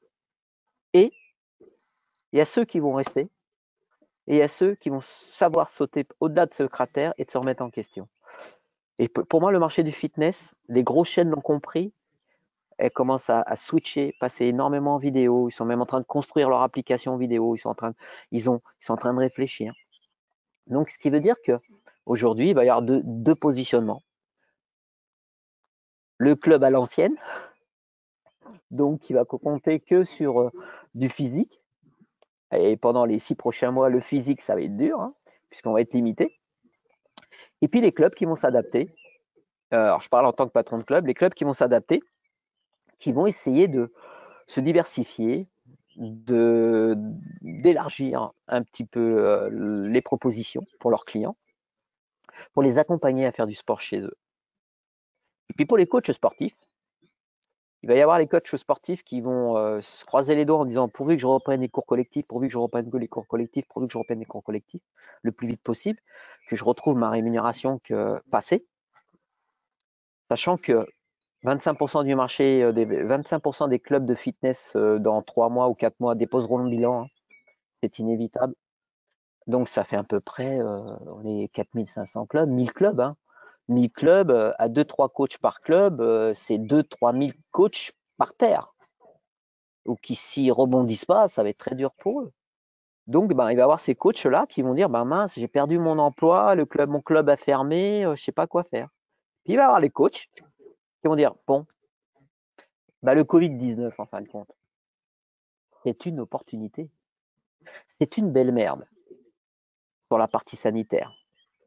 Mais sur la partie professionnelle, il faut l'analyser comme une, très belle opportunité de se remettre en question et d'essayer de se positionner avec, euh, bah moi je dis le fitness euh, V3, quoi, version 3, où, euh, où tout sera modélisé, un peu d'internet, un peu de chez soi, un peu de physique, un peu d'accompagnement. Aujourd'hui, pour moi, c'est fini le marché du fitness où on laissait euh, dormir les, abonnements, les abonnements dormants, là, on les laissait de côté. Tout cela, de toute façon, avec le Covid-19, ils ont tout suspendu, ils ont tout résilié. Et aujourd'hui, il faut vraiment prendre soin de nos clients et il faut vraiment leur apporter une transformation. Pour moi, aujourd'hui, dans le fitness, il faut aider les gens à transformer leur corps, à prendre soin de leur santé. Il faut le faire du mieux qu'on pourra. Donc, la reprise va être difficile. Euh, j'ai un centre aquatique je fais partie de ceux qui vont être le plus impactés dans cette reprise parce que des clubs de musculation vont ouvrir avec des machines cardio, ils vont mettre une machine sur deux, un, espace musculation, un banc de développé couché sur deux. Mais moi, j'ai que des piscines. Moi, je fais que des cours collectifs en piscine. Donc moi, j'ai le traitement de l'eau, j'ai le traitement de l'air. Et euh, pour l'instant, tant que le, on n'a pas la certitude que ce virus euh, est désintégré dans l'eau et euh, ne tourne pas dans l'air, moi c'est des piscines couvertes, donc je suis en atmosphère confinée, euh, bah, ça va être difficile pour qu'on m'autorise d'ouvrir. Donc croyez-moi, je suis obligé de me réinventer. Donc je vous dis pas ça de gaieté de cœur. Je vous ai dit, j'ai pleuré, j'ai eu peur, mais j'ai réagi. Et ça, c'est vraiment important et c'est ce que vous devez faire. Le marché du fitness va changer. Ce qu'on a connu avant n'existera plus ou tout du moins existera, mais différemment. Et c'est pas la première fois que vous entendez ces paroles-là. effectivement, ce que vous avez connu jusqu'à présent n'existera plus. Alors, il y, a une, phrase qui peut-être que vous avez peut-être euh, pas forcément euh, retenue, dit Philippe, euh, c'est que à l'avenir, ce qui sera intéressant, c'est d'accompagner les adhérents dans leur quotidien, mais jusqu'à chez eux, en fait, d'être aussi présent chez eux. Et tout ce qui était modèle précédent où les gens s'abonnaient et les gens consommaient le club mais parfois effectivement ne venaient pas et puis euh, continuent à payer leur abonnement, ben, c'est aussi parce que euh, les clubs n'allaient pas jusqu'à rentrer dans leur domicile et d'être en fait une partie complète de leur vie à ces, euh, à ces adhérents-là. Alors vous allez, vous allez comprendre, et c'est pour ça que je vous ai dit, donnez surtout jusqu'au bout de ce webinaire, parce que vous allez comprendre à la fin comment est-ce que vous pouvez faire en sorte de reconquérir et surtout de fidéliser des clients parce que Philippe va vous donner des tips et des astuces qui valent de l'or. Euh, Philippe, est-ce que, tu, euh, tu, peux nous dire un petit peu comment ça s'est passé? Parce que après, avoir ouvert Dynamic Fitness à Nemours, euh, tu as, as, eu, si on regarde globalement, tu as eu beaucoup de réussite. Mais tu as eu aussi quelques petits aléas parce que tu as essayé des choses, parce que tu es dans l'esprit cap ou pas cap, et puis tu, te lances. Tu n'as pas peur de te lancer dans des investissements, même si des fois perds un petit peu de, un petit peu d'argent et que c'était pas forcément évident, mais, mais tu as tenté des choses. Tu as investi avec une chance de retour sur investissement. Et puis, quelque part, comme, comme, disait Philippe, c'est que cette matière qui est parfois le, euh, l'échec qu'on peut estimé être un échec, ça reste une matière. Soit on reste sur l'échec, soit on utilise cette matière pour rebondir et, se dire, bah, en fait, ça va m'apprendre des choses, ces échecs, que j'ai pu avoir à un moment donné. Donc, euh, vous l'avez entendu, Philippe, il a créé Dynamic Fitness à Nemours. Et puis après, et en ce moment, il a, vous le voyez sur son beau t-shirt bleu, il a Dynamic Aqua. Euh, et ça ne sera pas le seul, concept dynamique dont vous entendrez parler on en parlera vers la fin. Euh, entre Dynamique Aqua, qui est un centre aquatique avec des piscines et des cours d'aquadynamique, d'aquagym, d'aquabike, d'aqua running, d'aqua triathlon, etc. on peut en citer 10 000. D'aqua pole dance, peut-être, d'aqua zumba, peut-être, d'aqua poney. Oui, je, je me souviens vidéo que tu as fait en aquaponie. Et, et, en fait, entre ces, ces, deux, entre Dynamic Fitness, qui a été quand même un club terrestre avec un très beau succès, Dynamic Aqua, qui était vraiment bien lancé parce que je te suivais régulièrement et euh, franchement, c'était ça, ça, ça, donnait envie, quoi. Et avec des franchisés qui t'ont suivi, c'est-à-dire des personnes qui ont pris, qui ont payé ton, euh, qui sont rentrés dans la franchise pour avoir eux-mêmes leur club dynamique à quoi euh, Malheureusement, il y a eu le Covid et ça a tout freiné d'un seul coup, mais quand même, il y avait, une belle vitesse quand même euh, d'un point de vue développement que, tu avais entrepris. Entre les deux, tu avais essayé d'ouvrir un, centre de coaching dans le centre de coaching privé dans le centre de Nemours. Qu'est-ce que ça a donné ce centre de coaching? Alors c'était, euh, en gros, j'avais euh, ma salle Dynamic Fitness où c'était un club familial. Ah, on, eh ben, on, a, figé, on a figé euh, Philippe Béja. Ça y est, il revient. Ah, excuse-moi, tu m'entends? Eh, Super, ça y est, c'est reparti. Donc à Nemours, j'avais mon centre Dynamic Fitness qui était très familial et j'ai eu l'opportunité de pouvoir ouvrir une autre salle dans le centre-ville. Attendez, euh, Nemours, c'est une petite ville de 9000 habitants quand même. Hein. Ben moi, euh, j'ai pas eu peur. J'ai ouvert une autre salle dans le centre-ville de Nemours, petite salle. Et je m'étais dit, de toute façon, si c'est pas moi qui le fais, c'est quelqu'un d'autre qui va le faire. Donc autant que ce soit moi. Et euh, j'ai fait un système 6h, 23h avec des machines en libre service. Bon, bah ça n'a pas marché. et pourtant, j'avais tout calculé, le modèle et tout.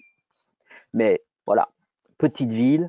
Les gens préféraient venir dans notre gros centre que d'aller dans ce petit centre. Ils savaient que c'était les mêmes patrons. J'aurais dû peut-être changer de patron, de propriétaire, dire que c'était pas moi. Donc ça n'a pas marché. Et euh, je lui ai laissé quelques plumes parce que euh, j'ai dû laisser, je crois, 20 000 euros à peu près, 20 25 000 euros.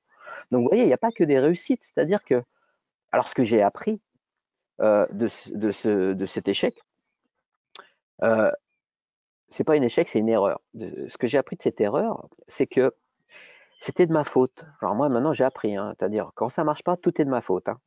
euh, parce que on est responsable. Donc euh, moi quand ça marche pas, c'est de ma faute. C'est pas de la faute de mon personnel, des gens qui ça va pas, qui sont pas au bon poste, qui sont pas formés. C'est de ma faute. Parce, que j'étais pas assez présent. Je motivais pas assez l'équipe des vendeurs. je les ai laissés ce club un petit peu en roue libre et je leur ai dit allez-y, c'est comme chez vous. C'est votre club. Je vous l'offre. Mais le problème, c'est que ben, il faut toujours, euh, pas un patron, mais quelqu'un qui puisse donner la direction. Et il manquait de direction, ils sont partis un peu dans tous les sens. Et au moment où il a fallu que je récupère ça, c'était trop tard. Donc ça, pour moi, c'était une erreur. Ensuite, suite à cette erreur, quand même, j'ai vendu mon club à Nemours. Et dans la foulée, dans la foulée, hein, j'ai ouvert Dynamique à quoi? C'est-à-dire que c'est pas parce que j'avais fermé un centre et que j'avais commis cette erreur que j'allais tout arrêter. Vous voyez, c'est là où je vous disais la persévérance, c'est là que ça fonctionne. C'est-à-dire que si, suite à cette erreur, après avoir vendu mon club et avoir euh, fermé un autre club, si je m'étais dit, oh c'est bon, là c'est trop dangereux, j'arrête tout, je garde l'argent, je fais plus rien. Là, j'aurais commis une erreur. Et ben au contraire, j'ai rebondi. J'ai bah, Maintenant, on ouvre un autre centre qui était euh, l'aquatique, puisque le marché du fitness, pour moi, euh, ben, il y avait beaucoup de concurrents. C'était euh, l'océan rouge. Pour ceux qui ne connaissent pas, l'océan rouge, c'est quoi? C'est quand vous êtes dans un marché, dans un secteur d'activité, vous avez énormément de concurrents. J'ai un moment donné, je vais aller dans l'océan bleu. Ça tombait bien. Dynamique à quoi? C'était que de l'eau. Je vais construire des piscines. Une piscine. Et croyez-moi, pareil, hein, tout mon entourage, personne n'y croyait, ça marchera pas, ceci, cela. Euh, c'est une banquière qui m'avait dit, euh, ça serait bien de faire un centre aquabike euh, à Sens, dans la ville où je suis, à 89. Il y, a, trop de salles de fitness. Si je vous prête de l'argent, c'est pour faire un centre d'aquabike. Accrochez-vous bien. Si je vous prête de l'argent, c'est pour faire un centre aquabike. OK. En une nuit, je sors le business model, je fais tout je lui amène le business model. Je lui dis maintenant, vous me prêtez combien? Ah bah zéro, monsieur déjà c'est trop de risques parce que bah, on connaît pas l'activité, on ne sait pas comment l'aquabac ça marche. C'était en 2015 ça. On ne sait pas comment ça fonctionne. Donc bah, vous allez vous débrouiller. Et là, eh ben, j'y suis allé quand même. J'ai mis tout l'argent de la vente de mon premier centre. J'en ai même rajouté. On a encore vendu encore plein de trucs avec ma femme pour pouvoir créer ce premier centre. Les banques nous ont prêté que dalle. Que dalle et on a monté Dynamique à quoi. Donc là, croyez-moi, j'étais un petit peu en mode panique et en, mode peur. Et quand on a peur, c'est ce que je vous disais tout à l'heure, quand on a peur, eh bien, on analyse pourquoi on a peur. Moi, mes peurs, ma plus grosse crainte, c'était que ça intéresse personne, que personne veuille venir dans mon centre, après avoir investi 400 000 euros quand même. Je me suis dit, on investit tout ce qu'on a, et si personne vient, bah comment je vais faire pour qu'ils viennent quelle est la solution? La publicité. Ok, mais faire de la publicité comme on faisait traditionnellement avec des flyers, j'ai tout le monde le fait. Non, comment on peut faire encore mieux? Comment on, peut faire, comment on peut être différent? Et ça, c'est ce qui me motive. C'est d'être différent. C'est de faire des choses différemment de ce qui existe. Eh bien, j'ai regardé sur Internet et puis j'ai trouvé tous ces marketeurs qui vendaient plein de formations en ligne en 2016. Et j'ai acheté des formations. Et je me suis formé pour vendre en ligne. Je me suis dit, mais moi, je vais faire des vidéos, je vais faire des tunnels de vente, je vais vendre en ligne. Croyez-moi, quand j'ai dit ça dans le marché du fitness avec toutes les personnes que je connaissais, je connaissais bien parce que j'étais déjà consultant, donc je connaissais beaucoup de patrons de clubs de fitness, des chaînes et tout.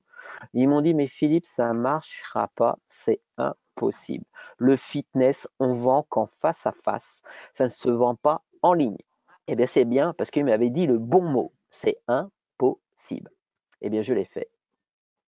Et croyez-moi, j'ai cartonné comme jamais. Un club ne peut cartonner en préouverture. Je vendais 24 heures sur 24, 7 jours sur 7 en ligne. Je buvais l'apéro sur ma terrasse. Et là, mon portable sonnait et les gens m'achetaient. Donc, c'est comme ça que j'ai créé Dynamique Aqua. Et de là, je suis devenu un expert en marketing parce que depuis cinq ans, je me forme, je me forme, je me forme, je me remets en question tout le temps, même pendant le confinement. J'ai racheté deux autres formations. Et croyez-moi, pourtant, j'en ai fait des séminaires en marketing, en vente, en tunnel de vente, en Facebook Ads, Google Ads, la totale. Mais j'ai encore acheté deux formations pendant le confinement pour être encore meilleur. Pourquoi? Parce que le marché est en train d'évoluer. Et donc, si je veux toujours garder mon avance, il faut que j'évolue encore moi aussi. Si en 2016, il y avait très peu de coachs sportifs qui vendaient des formations en ligne, très très peu. Il y a vraiment, euh, j'en ai côtoyé très très peu. Maintenant, on a poussé beaucoup de monde à faire des choses en ligne, à faire des vidéos en ligne. Donc, à un moment donné, j'en vois plein, hein, des coachs qui se disent, bah tiens, je vais faire une formation en ligne, je vais faire du coaching en ligne. C'est très bien. C'est très très bien. Mais moi, j'ai décidé de prendre encore de l'avance. Donc, j'étais un des premiers à vendre et euh, depuis 2016, on a un club qui génère à peu près euh, un million d'euros de chiffre d'affaires par an, qui marchait très très bien avant le, confinement. On a plus de 2200 clients. Je disais tout à l'heure encore à, Christophe que en deux jours, j'ai généré 11 000 euros de chiffre d'affaires uniquement en ligne. Et euh, c'est mon savoir-faire, c'est mon expertise. Donc voilà euh, comment j'ai fait exploser Dynamica quoi? C'était la force de ma franchise et c'est pour ça que j'avais trouvé des franchisés. Très vite, j'ai même pas fait le salon de la franchise. Je vendais ma franchise en ligne. J'étais encore un des premiers au travers d'une masterclass, d'un webinaire. Je récupérais des franchisés au travers d'un webinaire. Je pense avoir encore été le premier à le faire il y a de cela neuf mois. Et euh, j'innove toujours, j'innove toujours, toujours, tout le temps. Ah oui, mais parce que tu te formes toujours, donc ton esprit, il est euh, stimulé régulièrement et euh, ça, ça ça ouvre encore plus à 180, 190, 200 degrés, 210 degrés d'ouverture, enfin l'esprit et, forcément tu, penses à plein de trucs. Moi, ça me fait le, même effet quand, je suis une formation, parce que je me forme aussi également. Et quand je suis une formation, mais là-dedans, ça mouline, mais à un, point mais pas possible. Et je te, je te retrouve là-dedans. À tel point, c'est que je prends des notes et quand je rentre chez moi, euh, j'applique, j'applique tout de suite. Et euh, parfois ça match, ça marche pas. Donc, euh, ouais, effectivement, j'ai 100, 100, 100 projets dans une année. Euh, globalement, je dois, dois être pas loin de 100 projets dans une année. Et euh, il y en a que un ou deux qui fonctionnent. Mais la formation et aussi la rencontre avec les autres, c'est-à-dire sortir de l'isolement qu'on peut avoir en ayant, en discutant avec d'autres, en s'ouvrant l'esprit dans des livres, dans des, euh, dans des vidéos qui sont des vidéos de motivation pour aller voir ce qui se passe aussi ailleurs, pas seulement dans notre secteur d'activité, mais voir aussi ce qui se passe ailleurs, ça, ça ouvre à des opportunités incroyables. Et c'est vrai que euh, à l'époque, en 2016, quand as ouvert Aquadynamique, euh, il y avait, avait quasiment pas de club en France parce que Attention, hein, il, est, euh, il est un des premiers, euh, sinon le premier, à avoir autant développé l'aqua, euh, Philippe. Hein. Et, moi, quand tu l'as lancé, je me suis dit, ouais, c'est quand même novateur, c'est gonflé comme ce que tu fais. Et quand j'ai vu comment ça partait, je me suis dit, oh là, il va y avoir des dynamiques aqua partout en France. Et tu as eu combien? 11, 11 franchisés? 11 franchisés, c'est-à-dire des personnes qui lui ont fait confiance et qui ont ouvert des dynamiques à quoi? Enfin, qui ont signé pour ouvrir des dynamiques à quoi? Donc, ça veut dire que ce modèle économique était très, très bon. Et en plus, le fait que ça soit original, ils sortent des clubs traditionnels et donc ils rejoignent l'océan bleu, contrairement à l'océan rouge où il y a euh, une ultra concurrence parce que, les clubs s'appellent euh, euh, Magic Form, Basic Fit, Fitness Park ou euh, Gigafit, en fait, même si les couleurs changent et si le nom change, globalement à l'intérieur, le service reste relativement le même. Il n'y a pas vraiment de différence, même si euh, ceux qui vous vendent des franchises pour être franchisés vous disent mais non, mais vous inquiétez pas, ça va être complètement différent chez nous.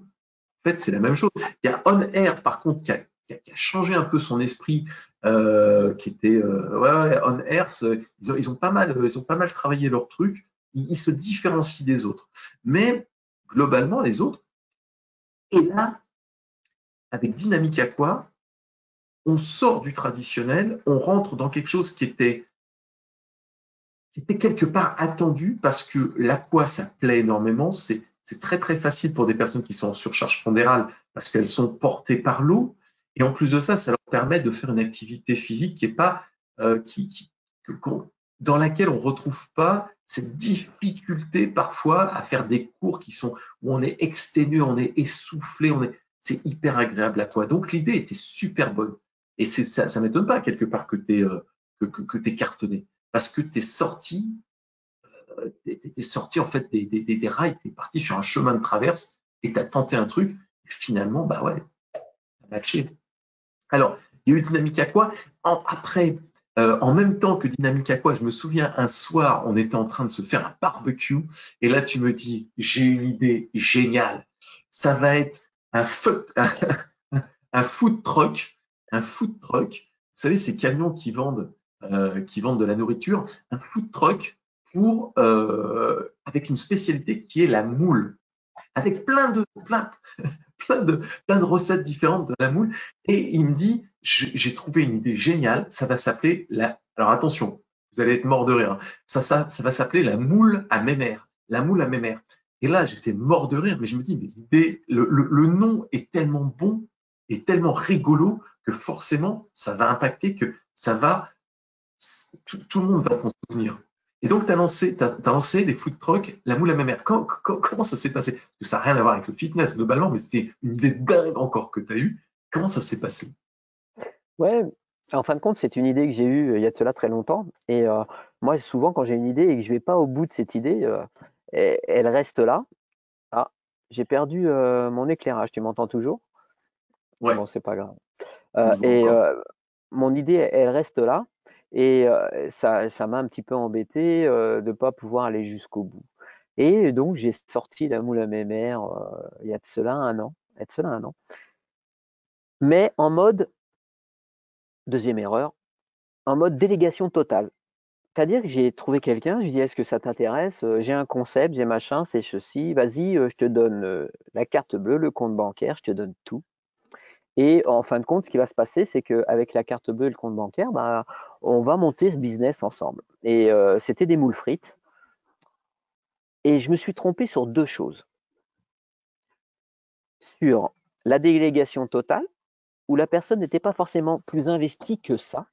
Donc, c'est-à-dire que euh, une fois qu'elle s'est retrouvée avec voiture de fonction, téléphone, ordinateur et puis euh, les clés de, de, la société, a fait un petit peu n'importe quoi. L'ego a parlé et c'est peu soucié du développement.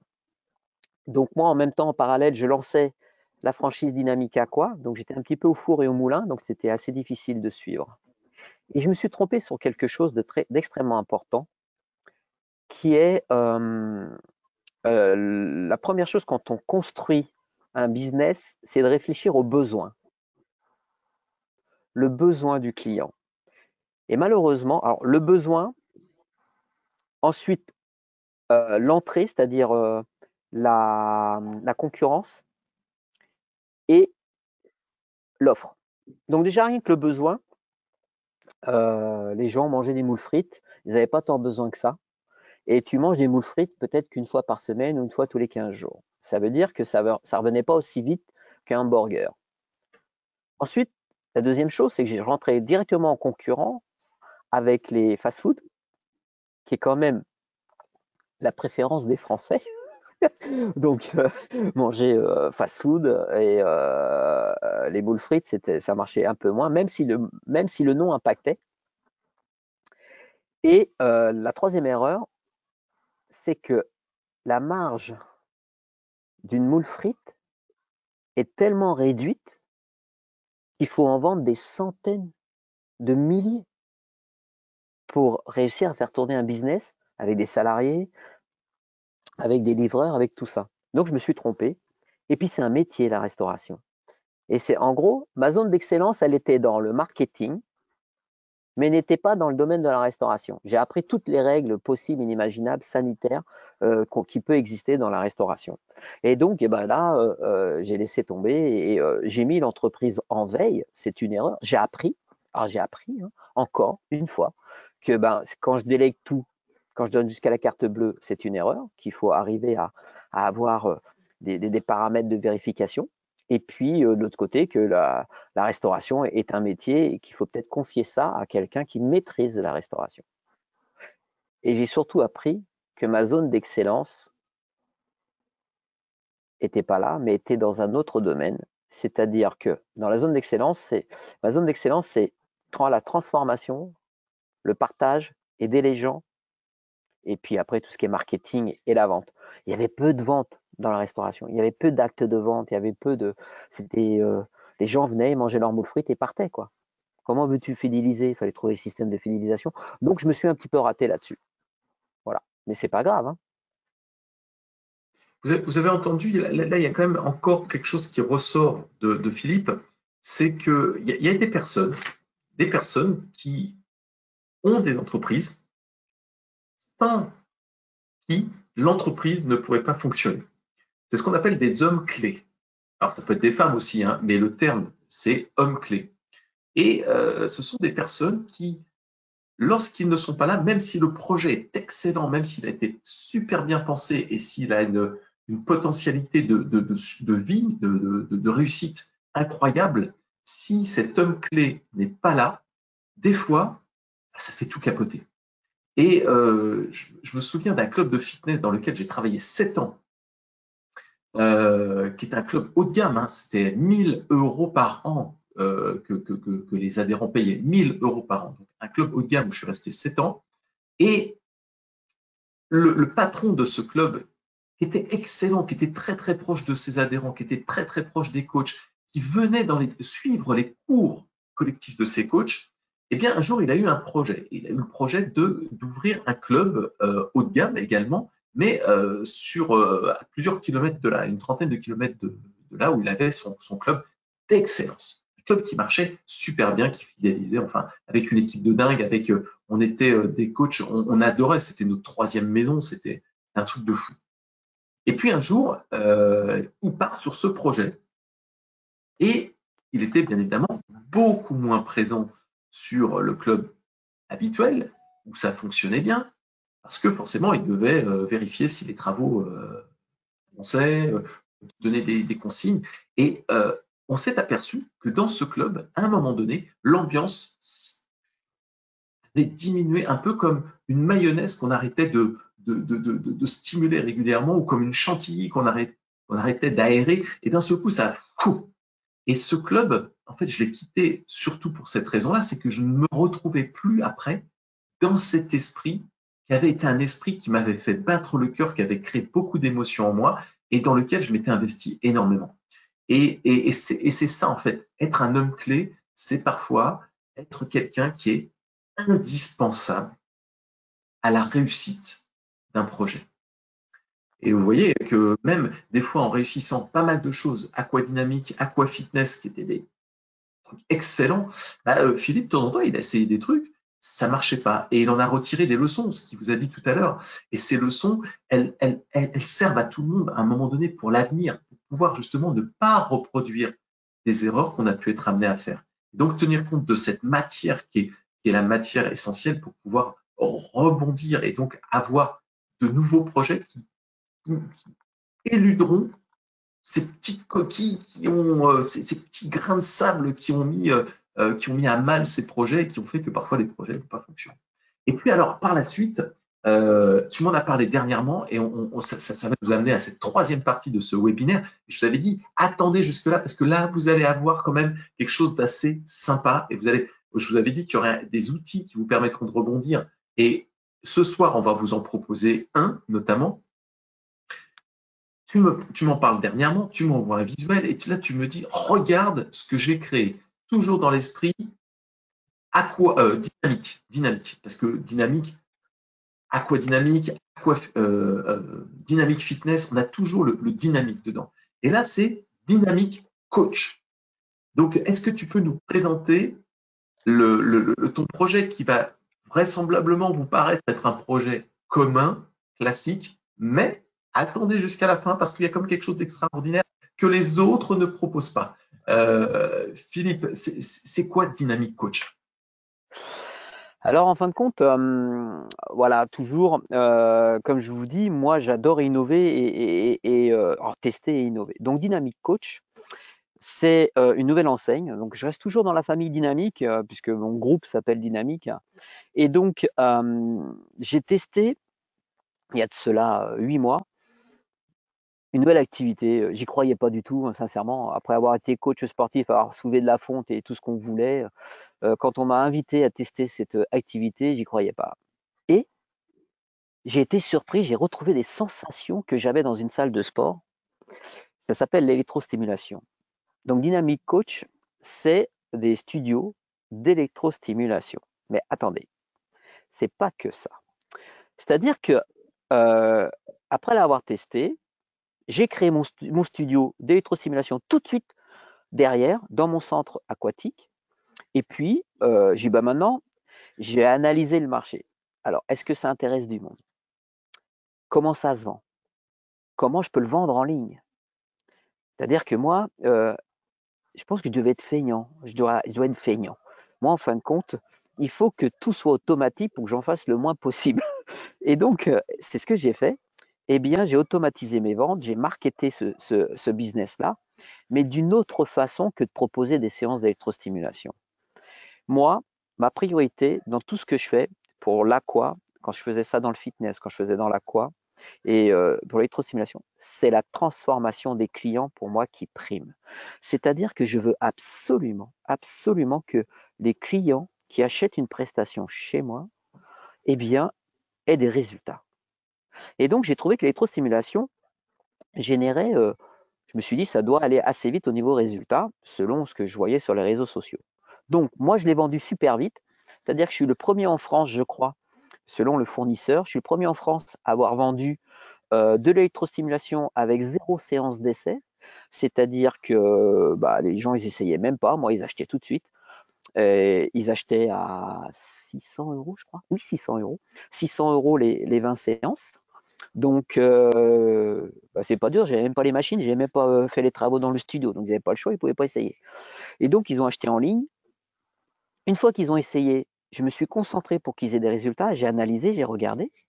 Les gens ont eu des résultats de fou. Au bout de 4-5 séances, je me dis, c'est ouais, c'est génial, ça marche. Et d'un seul coup, Covid-19.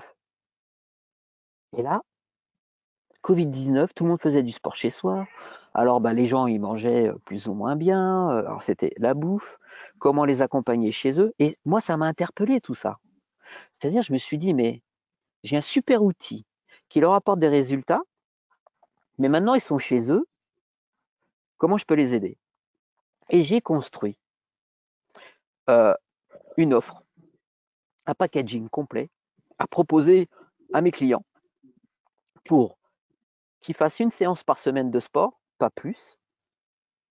Donc quand je les vois pendant cette semaine-là, je vais les motiver parce qu'on sait très bien, vous êtes coach sportif, vous savez très bien que euh, c'est la motivation qui prime aussi, il faut rester motivé pour faire du sport. Donc l'EMS leur permet d'avoir des résultats rapidement, au bout de 3-4 séances, ce qui fait que ça augmente leur motivation. Mais en plus de ça, j'ai construit tout un modèle où je vais les accompagner chez eux sur l'alimentation, euh, je vais les aider à cuisiner, je vais les accompagner à faire du sport avec des vidéos de qualité, je vais euh, créer cette marque où euh, on va avoir casquette, t-shirt. Ils vont s'identifier à notre marque.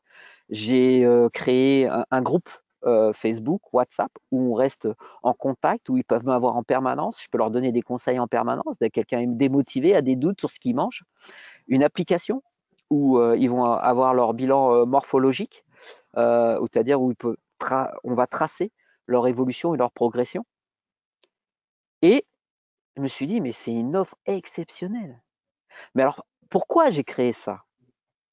C'est parce que Dynamique quoi est en danger du fait de la reprise, du fait de la baisse de fréquentation dans mon club, que je vais perdre du monde, que je ne vais pas pouvoir générer un million d'euros de chiffre d'affaires à l'ouverture, qu'il va falloir que je trouve une solution pour ne pas revivre ce que j'ai vécu dans mon passé. Donc mon cerveau l'a fait très très vite. Il s'est dit, mais il va, on va ouvrir des studios Dynamique Coach. Moi, je me suis dit, je vais ouvrir des studios Dynamic Coach. Donc, je vais en ouvrir un, deuxième, un troisième, parce que j'ai tout analysé. faible investissement au démarrage. On n'est plus là pour investir un dynamique à quoi Quand on ouvre un dynamique à quoi C'est du 300 à 400 000 euros d'investissement. Donc, ça ne s'ouvre pas comme ça du jour au lendemain. Un studio de coaching, bah, c'est faible investissement. Surface, 30, 40, 40 mètres carrés, les machines de MS, plus tout mon savoir-faire. Ma force marketing, je me suis dit, bah, je vais ouvrir un studio, un autre studio qui est en cours d'ouverture. Puis je vais en ouvrir un troisième qui est aussi en cours d'ouverture. Et d'un seul coup, je vois ce que fait Christophe, je vois les posts sur les réseaux sociaux, des coachs qui sont inquiets, tout ça. Et je connais la finalité, euh, on va dire, du marché du fitness dans six mois, où il va y avoir un paquet de coachs qui vont être un peu sur le carreau et qui vont pas savoir quoi faire ou se remettre en jeu. Je me suis dit, mais elle est où ta zone d'excellence, Philippe? Tu sais créer des business qui fonctionnent. Tu as créé tout un ensemble, un, écosystème qui peut aider des coachs à, à, se, à se réinventer, à, à se mettre à leur compte, à ouvrir leur studio de coaching. Je me suis dit, oui, mais bon, c'est quoi la principale difficulté d'un coach?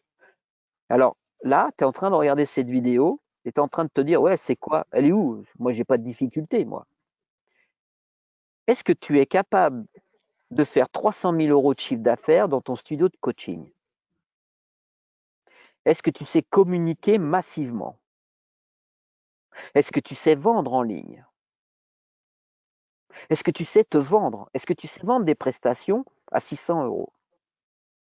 Je me suis dit, mais les coachs, en majeure partie, peut-être que toi tu sais, peut-être que tu t'es formé pour, euh, tu fais partie des, 1% ou des 2 ou des 3% qui savent, mais la majeure partie ne savent pas communiquer sur les réseaux sociaux, ne savent pas euh, se mettre en valeur, mettre en avant leur activité et ne savent pas vendre.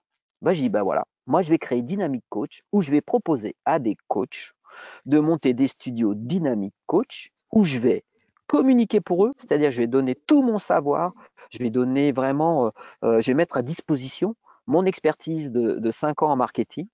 Mais en plus de ça, je vais une équipe de closers qui va récupérer tous les leads qu'on va avoir sur les réseaux sociaux et qui va closer pour eux. C'est-à-dire que je vais remplir les agendas de tous ceux qui prendront euh, de Dynamic Coach pour ouvrir un studio. Mais en plus de ça, je vais transmettre mon savoir en tant que chef d'entreprise, en tant que serial entrepreneur, c'est-à-dire qu'il y, a, des astuces, il y a des astuces euh, de management, il y a des astuces au niveau de la gestion financière, il y a des astuces pour euh, avoir plus de résultats, pour faire des bénéfices. Il y a, énormément d'astuces et ce sont des astuces que moi j'ai maintenant en tant que chef d'entreprise. Je vais partager tout mon savoir. En gros, Dynamic Coach, c'est une enseigne où euh, pour moi, ça va être une énorme, euh, une énorme, c'est une cour de, récréation où je vais divulguer, partager mon savoir euh, à, toutes les personnes qui souhaiteront suivre cette aventure, parce que c'est une aventure. Et au plus profond de moi-même, j'ai cette ferme conviction qu'il y a un réel besoin au niveau de la clientèle de d'avoir des résultats rapidement, de ne plus vouloir se retrouver dans la foule des salles de fitness, d'être accompagné, d'être coaché et de, de rejoindre un petit peu ce que je vous disais tout à l'heure, de pouvoir accompagner les gens jusqu'à chez eux et de faire en sorte vraiment qu'ils se sentent bien, qu'ils reprennent confiance en eux et qu'ils peuvent qu'ils puissent se regarder dans un miroir au bout de quelques séances. Et en gros, Dynamic Coach, c'est ça, c'est d'aider un maximum de personnes. Mais si en même temps, je peux aider des coachs à devenir de véritables chefs d'entreprise, eh bien, c'est avec plaisir. Alors, vous l'avez compris, c'est euh, ce, que, ce que propose Philippe.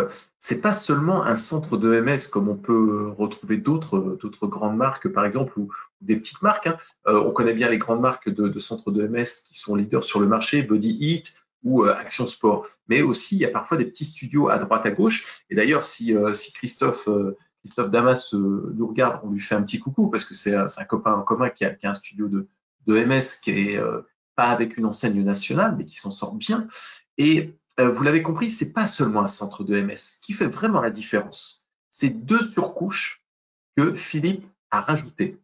Première surcouche, elle est vraiment hyper importante. C'est tout ce qui est digital et tout ce qui est sous-traitance digitale, euh, de, digitalisation. On en parlait, vous vous souvenez, vous pouvez revoir le replay encore sur notre webinaire de mardi dernier, on vous parlait de digital et de marketing digital. Philippe, c'est un spécialiste du marketing digital, c'est-à-dire de tout ce qui se fait en termes de, euh, de publicité sur les réseaux sociaux, sur Internet, les tunnels de vente dont on vous parlait la semaine dernière, qui sont des outils incroyables. Si vraiment vous voulez vous en sortir les coachs, il faut rentrer aujourd'hui dedans parce qu'on est dans une nouvelle dimension, on est dans un nouveau monde, hein, souvenez-vous. Hein. Philippe l'a dit aussi encore cette semaine et on vous le dit toutes les semaines. On est dans un nouveau monde, il faut vous diriger vers la digitalisation. Et en fait, ce qu'il fait, c'est que non seulement euh, il, vous permet de créer votre propre centre de MS, d'électromyostimulation, mais derrière, il, il rajoute une surcouche que ne font pas les autres, c'est-à-dire qu'il vend pour vous, il vous amène des clients, il vous book votre agenda. C'est-à-dire que vous, en fait, ce que vous faites, c'est ce que vous faites de mieux, c'est-à-dire que vous faites votre partie technique de coach, votre passion de coach. Vous n'avez même pas à vous soucier de la vente, vous n'avez même pas à vous soucier de la publicité parce que lui, dans son concept, il fait tout avec toute son expertise à côté, toutes ces années d'expertise. Il vous fait bénéficier de toutes ces formations qu'il a suivies, qui sont des formations euh, à, cinq chiffres, hein, euh, normalement. Hein, euh, on est bien d'accord. Donc, il vous fait bénéficier de tout ça.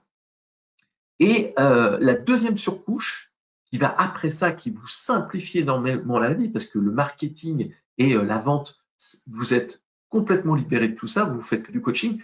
La deuxième chose qui va faire en sorte que son concept va fidéliser en fait les, euh, les adhérents, les adhérents des, centres, de ces centres de euh, euh, Dynamic Coach, c'est le fait qu'il va être chez eux encore à les aider à réussir, à les accompagner dans leurs résultats. Ça ne veut pas dire que physiquement, il va aller chez chacun chacun des adhérents pour frapper à la porte, pour regarder ce qu'ils ont mangé euh, dans leur assiette ou voir euh, regarder dans le, dans le frigo s'il y a bien tout. Non, mais par contre, ça va se faire au travers de euh, une diététicienne qui va faire des webinars, d'après ce que j'ai compris. Il va y avoir des programmes alimentaires, il va y avoir tout ce qu'il faut pour avoir un feedback par rapport à ce que ce qui va se passer chez eux lorsqu'ils vont appliquer le programme. Et globalement, euh, il va y avoir une interaction régulière, c'est-à-dire que les, adhérents de ces centres d'EMS, lorsqu'ils seront rentrés chez eux, bah, en fait, ils seront, vous serez toujours avec eux quelque part, euh, un peu au-dessus de leur tête. Ce serait comme, euh, voilà, comme une sorte de, big, big brother dira attention, là, surtout pense à, à telle, telle notion dont, je t'ai parlé, qui est très importante si tu as envie de perdre tes 3 kilos supplémentaires rapidement. Et puis, souviens-toi, euh, ici, euh, on a fait des efforts, c'est pas pour rien. Alors donc, il y a toute cette partie motivationnelle, il y a toute cette partie euh, accompagnement au niveau diététique que vous, en tant que coach, vous n'avez pas la possibilité, vous n'avez pas le droit de faire parce que c'est réservé aux diététiciens diplômés. Donc là, il y a une diététicienne en, en fait, c'est une machine de guerre, en fait, ce qu'il a réfléchi. Et quand il m'a présenté le truc, au démarrage, je vois, euh, en toute honnêteté, hein, je, vois, je, vois, les images, je me dis, bon, bah ouais, c'est un centre de MS, parce que je vois des personnes habillées avec, vous savez, des gilets euh, semi-complets euh, au niveau du corps pour pouvoir faire de l'MS. Et là, après, il me raconte le truc, mais je dis, mais, en fait, c'est exact, tu réponds à un besoin qu'ont les coachs aujourd'hui, c'est-à-dire de ne pas s'occuper de la vente, de ne pas s'occuper du marketing digital, mais en plus de ça, de fidéliser des clients qui reviendront régulièrement. Et quand tu m'as dit euh, tout à l'heure, tu m'as dit que en l'espace d'une journée, tu avais réussi sur un centre à générer combien? 11 000 euros? Ah oui, j'ai généré sur un, pardon, excuse-moi de te couper, alors généré sur un centre euh, 11 000 euros en un peu plus de 24 heures. Euh, ça, c'est mon, marketing. Euh, j'ai travaillé sur un autre studio qui en est à 260 000 euros de chiffre d'affaires. Euh, aujourd'hui, il, est en, préouverture, il est à plus de, 100 clients en préouverture, c'est-à-dire qu'il n'a même pas ouvert. Pendant le confinement, il vendait, mais en plus de ça, là, il il il il va ouvrir, je pense qu'il va afficher complet. Donc, il, est certain qu'au niveau marketing, j'ai cette force et, cette puissance. Et euh, bah, ça, c'est même pas une puissance, c'est d'expertise parce que bah, c'est des formations. J'ai testé, j'ai testé énormément. C'est-à-dire qu'avant de proposer quoi que ce soit, avant de proposer quoi que ce soit, je teste toujours. Toujours, je teste. Vous avez vu, je vous l'ai dit, je vous ai expliqué comment j'ai découvert le MS. J'ai testé pour moi, j'ai regardé ce que ça fonctionnait. Le marketing, je l'ai testé pour moi.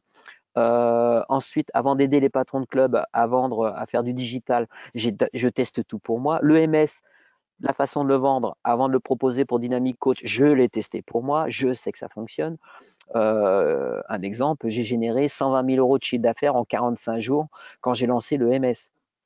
Donc, je veux dire, euh, c'est bah, c'est ok, j'ai des charges, j'ai des frais, mais je fais ça trois fois dans l'année, quoi. Donc c'est des studios qui peuvent générer 300 000 euros. Donc oui, je et puis quand j'ai lancé justement, c'est là où je me suis aperçu que il y avait une demande par rapport au coach. C'est quand j'ai fait ma publication uniquement sur mon profil Facebook, bah j'ai eu 10 demandes. J'ai dit, bah mince, comment ça se fait Et j'ai réfléchi, après en avoir discuté avec toi et tout, j'ai dit, mais ouais, mais c'est vrai, les coachs ont cette problématique. C'est savoir se vendre, communiquer. Et puis, bah, moi, j'arrive avec un business model préparé. J'arrive, il y a très peu d'investissement, puisqu'en plus de ça, je suis dans le partage. je ne me demande pas de droit d'entrée, euh, je pense que je ne sais pas si c'est une erreur. Peut-être qu'un businessman, euh, quelqu'un qui sera au-dessus de moi, qui me dirait mais c'est une énorme erreur de ne pas demander de frais d'entrée. Mais moi je ne veux pas de droit d'entrée. Euh, je ne demanderai pas de droit d'entrée aux personnes qui suivront Dynamic Coach parce que ben, déjà les premiers, ça sera une belle aventure. Et j'ai toujours cet état d'esprit de famille. Hein. Mais oui, franchisés Dynamique à quoi ont été sélectionnés, choisis parce qu'ils avaient les mêmes valeurs que moi et la même approche que moi un peu cet état, euh, cet état d'esprit famille. Bah moi, Dynamic Coach, c'est pareil, c'est-à-dire que les coachs qui vont me rejoindre au début, au début de cette aventure, euh, ça va démarrer euh, juillet, août, septembre. je pense qu'il faut, j'en aurai, il y aura une dizaine de Dynamic Coach en, septembre, de studio Dynamic Coach, au minimum. Bah, c'est 10, c'est 10 coachs, c'est 10 chefs d'entreprise, c'est 10 managers eh ben, on va être une famille et puis on va serrer les coudes et puis on va avancer. Et, moi, quand j'avance, je suis un bulldozer. Tu vois, ce que je retrouve dedans, c'est ce côté famille que tu que as toujours eu, même à l'époque de, quand je t'ai connu de Dynamic Fitness. Quand j'en parlais tout à l'heure, quand je décrivais le club de, forme, c'était vraiment un esprit familial. Donc, ça m'étonne pas en fait que quelque part tu, partes dans cet esprit-là et que tu proposes pas de droit d'entrée parce que en fait, il faut comprendre que, Philippe, il est, généreux. En fait, c'est quelqu'un de très très généreux qui a envie de faire plaisir, il met tout en place pour faire plaisir. Et les gens qui l'aiment bien, et eh ben, en fait, il les aide, tout simplement. Euh, et, effectivement, si tu retrouves, tu trouves des personnes qui ont envie de s'engager dans l'aventure avec toi et euh, qui ont le même esprit que toi, ça m'étonne pas quelque part que tu, restes dans cette dans cette entraide, euh, bien évidemment, parce que c'est dans ton ADN. Hein, euh, ça m'étonne plus, quoi, quelque part de toi. Et là, quand, il m'en a parlé, quand, Philippe m'a parlé de ce nouveau projet, et eh ben, en fait, je me suis dit, mais c'est peut-être une super opportunité pour certains d'entre vous qui ont envie de rebondir, qui peut-être avaient dans un coin de leur esprit l'envie un jour de créer soit un club, soit un studio de coaching, mais cette idée, elle était juste là, c'est une petite graine, mais elle n'avait pas encore germé, et que euh, euh, y avait toujours ce doute par rapport à est-ce que je vais y arriver, est-ce que je vais générer suffisamment d'argent, et, comment est-ce que je peux être accompagné, comment est-ce que je peux être coaché pour pouvoir y arriver? Ben, en fait, vous avez la solution. Il y a tout en fait, il y a tout. Il y a, surtout ce que les autres ne, vous proposent pas dans la franchise. Il y a euh, le fait que les droits d'entrée, bah, t'en pas, et moi, ça m'a bluffé. Il y a le fait que tu les accompagnes dans la vente, dans le marketing digital, c'est-à-dire que tu fais tout sous c'est toi qui sous-traites tout. Euh, eux, ils n'ont plus qu'à faire les séances. Et euh, c'est une, en fait, et, de, d'avoir l'argent, quoi, tout simplement. qu'est-ce que, qu'est-ce que tu fais d'autre? Et aussi tout ce concept d'accompagnement en dehors du club, en dehors du centre, à domicile. Euh, qui, qui, peut être très très importante pour finir, parce qu'après on va laisser les amis, il est très très tard. combien ça coûte d'ouvrir un, un, dynamique coach? Alors, un, dynamique coach, j'ai fait à peu près euh, le plan, c'est-à-dire qu'au démarrage, il y, a des, y, a des, frais qui sont incompressibles, puisque, euh, alors pourquoi je favorise l'électrostimulation? Vous avez très bien compris, c'est pour les résultats. Donc il y a les gilets, ainsi de suite. Même si on a négocié les tarifs, il faut compter environ euh, entre 10 à 16 ou 17 000 euros Allez, 10 000 euros, c'est vraiment le premier pack de démarrage. C'est acheter les gilets, c'est trouver le local, faire un peu de peinture. Euh, il faut deux vestiaires. Ça peut être assez rapide et les choses peuvent être améliorées aussi faut savoir que nous, on fait des préventes, on fait beaucoup de préventes, de préinscriptions. On peut générer entre 30 à 60 000 euros uniquement en prévente bien avant que le studio soit ouvert, ce qui peut mettre un peu du beurre dans les épinards pour pouvoir euh, démarrer euh, le studio, mais souvent avec euh, grand maximum, grand maximum pour quelqu'un qui veut être à l'aise. Avec 20 000 euros, il, ouvre son studio et c'est surtout qu'il ouvre quelque chose de beau, correct et avec un marketing puissant. Donc, euh, il a entre guillemets une certitude de dire ouais, je vais avoir du monde. C'est ouais, 15, allez, une fourchette de 10 à 20 000 euros parce que tout dépend du local, s'il y a un peu, un peu plus ou moins de travaux, il y a les gilets, il y a, euh, il y a des, trucs incompressibles, le logiciel de gestion au démarrage euh, pour mettre tous les clients qu'on va ramener pour pouvoir les mettre sur l'agenda, les traiter, la, la pince impédance métrique qui permet de faire un bilan corporel. C'est des choses incompressibles, mais Bien évidemment, vous avez compris que l'enseigne est toute jeune et on va, on va renégocier tout ça euh, très très vite. Quand je vais aller voir les fournisseurs, je vais leur dire maintenant on en ouvre 10, on met tout au rabais, tout ça pour faciliter les personnes qui vont développer Dynamic Coach. Euh, pour moi, c'est le plus important et, c'est l'essentiel. Mais alors, là, tout à l'heure, tu, nous as bien dit que euh, en l'espace d'une de 24 heures, tu avais généré à peu près 11 000 euros grâce à ta technique ça veut dire que si le studio, tu l'estimes à peu près à 20 000 euros, en deux jours, tu as couvert l'investissement, quoi. En deux jours, tu as couvert l'investissement. C'est un truc de dingue. C'est un truc de malade. Ça veut dire que déjà le prix, le prix d'un investissement est vraiment ultra bas, c'est hyper accessible, mais en plus de ça, tu es mais en fait, tu n'as même pas besoin de faire appel à une banque, globalement. Parce que tes préventes te couvrent, te couvrent l'investissement. C'est un système qui est, qui est automatique, en fait. C'est c'est exactement ça, c'est-à-dire que aujourd'hui, euh, moi, euh, financièrement, avec mon centre dynamique à quoi, je veux dire que c'est pas la peine, c'est pas la panacée. Hein, je suis en difficulté aussi, comme tout le monde. Et euh, vous voyez, c'est là où je vous dis, quand vous êtes en difficulté, mais comment vous pouvez rebondir? Alors, ok, j'ai pas de moyens, j'ai pas d'argent, j'ai pas de moyens, j'ai pas d'argent. je veux dire, j'ai pas devant moi 200 000 euros d'avance pour pouvoir ouvrir je ne sais combien de dynamique coach. Donc, ben, quand on n'a pas d'argent, qu'on n'a pas de moyens, c'est là où on analyse nos forces j'analyse mes forces. C'est quoi mes forces? Ma zone d'excellence, ma zone de génie, c'est le marketing. Donc, OK, je me focalise sur le marketing et c'est pour ça que j'ai racheté des formations, pour, vraiment être péchu, parce que c'est moi qui fais les pubs Facebook, c'est moi qui fais les tunnels de vente. Et euh, vu que j'ai été dans le marketing, j'ai été un petit peu, euh, euh, entre guillemets, reconnu comme quelqu'un qui sait digitaliser des commerces physiques, eh bien, j'ai énormément de réseau et des personnes qui m'aident au niveau marketing pour pousser, pousser, pousser mes tunnels, ma communication. C'est des amis, des marketeurs que j'ai, chez qui j'ai acheté les formations il y a cinq ans, c'est mes amis maintenant. Donc ils m'aident, ce qui veut dire que bah, mon marketing va m'aider moi à, générer. Euh, j'ai besoin de 20 000 euros pour ouvrir le deuxième studio, pas de problème. Bah, la preuve. Hein.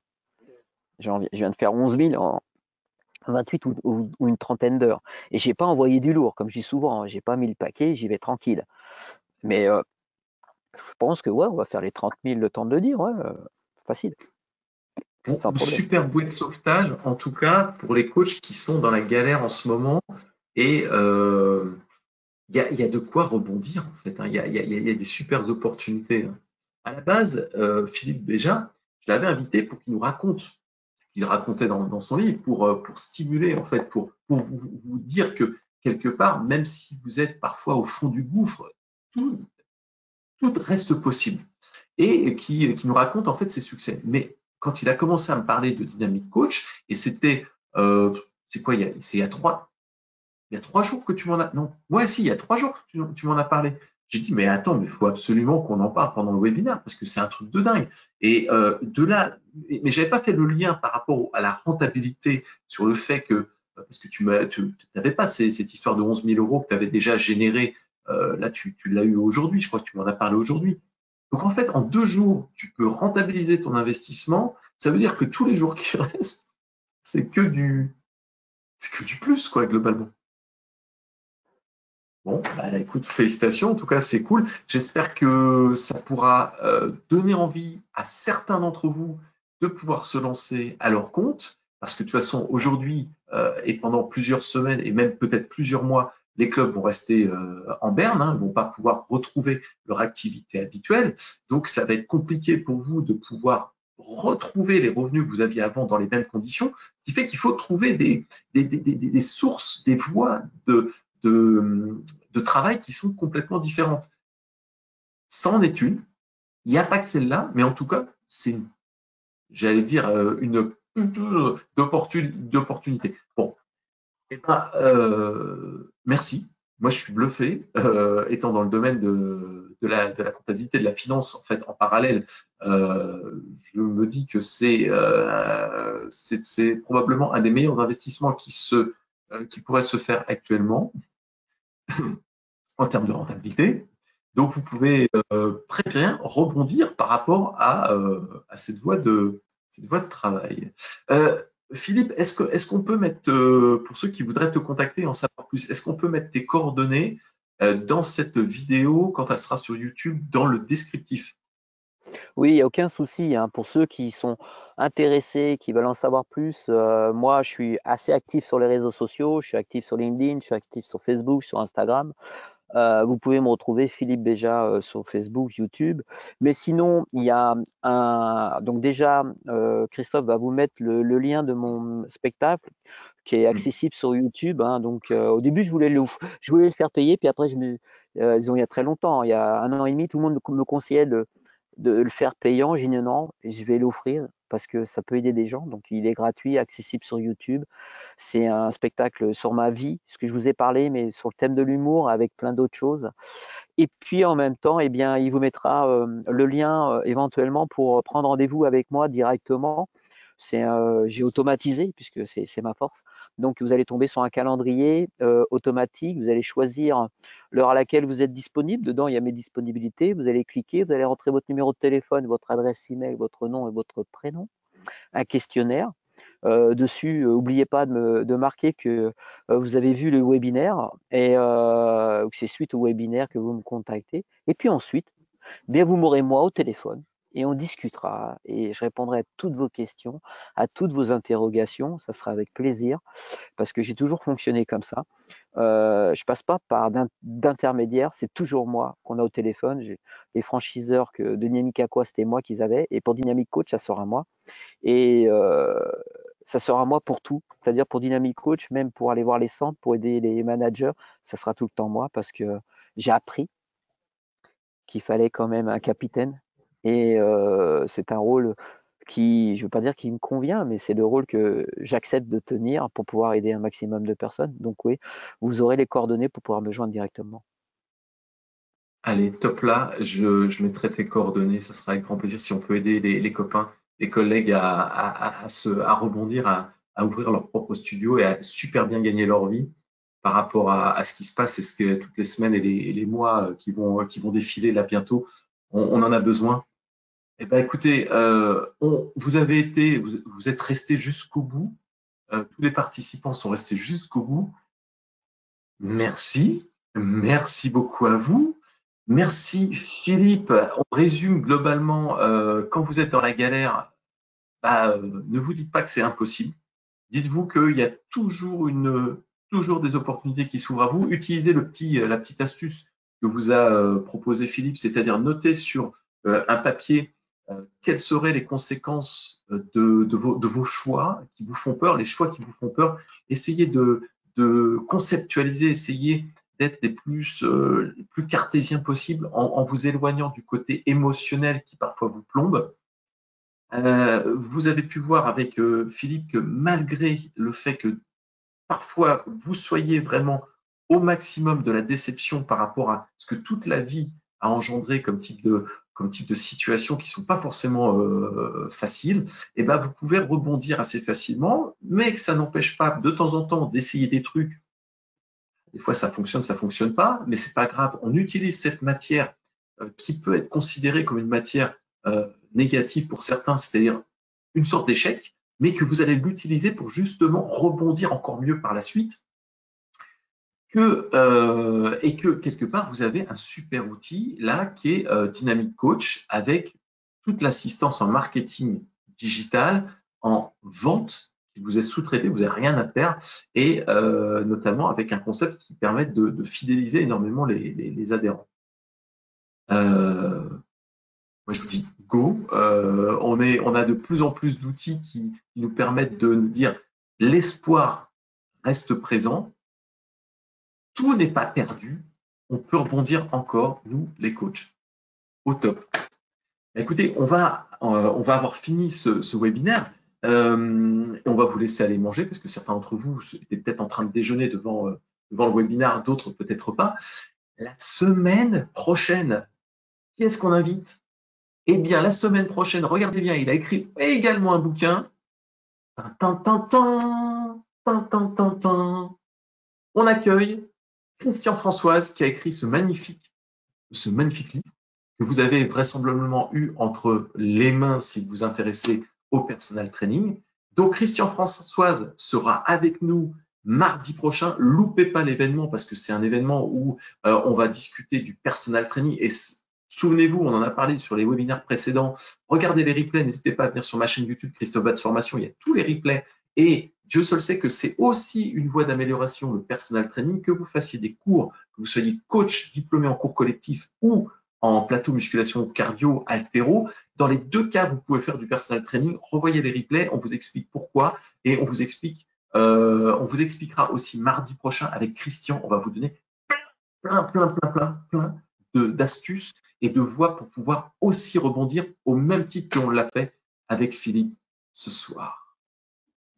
On vous souhaite à tous une agréable soirée, une bonne nuit. On vous souhaite de rebondir au mieux, que pendant toute cette nuit qui va se passer, pour vous, que ça puisse faire son petit bonhomme de chemin, que vous réfléchissiez, que vous mettiez à maturation toutes ces idées qu'on vous apporte. Et puis, Philippe, merci infiniment pour ta confiance et merci d'avoir accepté de nous dévoiler bah, euh, tes projets et puis aussi euh, une partie de ta vie qui est ah oui, qui n'a pas été évidente. Vous retrouvez, euh, vous aussi, on vous mettra de quoi, retrouver ce, livre de, Philippe, qui est euh, émouvant, qui est hyper émouvant, qui est bluffant, de la façon dont il a rebondi. On vous souhaite, avec Philippe, une agréable soirée. On vous dit à très très bientôt. On vous embrasse et on vous souhaite de rebondir au max. À mardi prochain. Ciao tout le monde. Bon Merci Philippe. À très vite.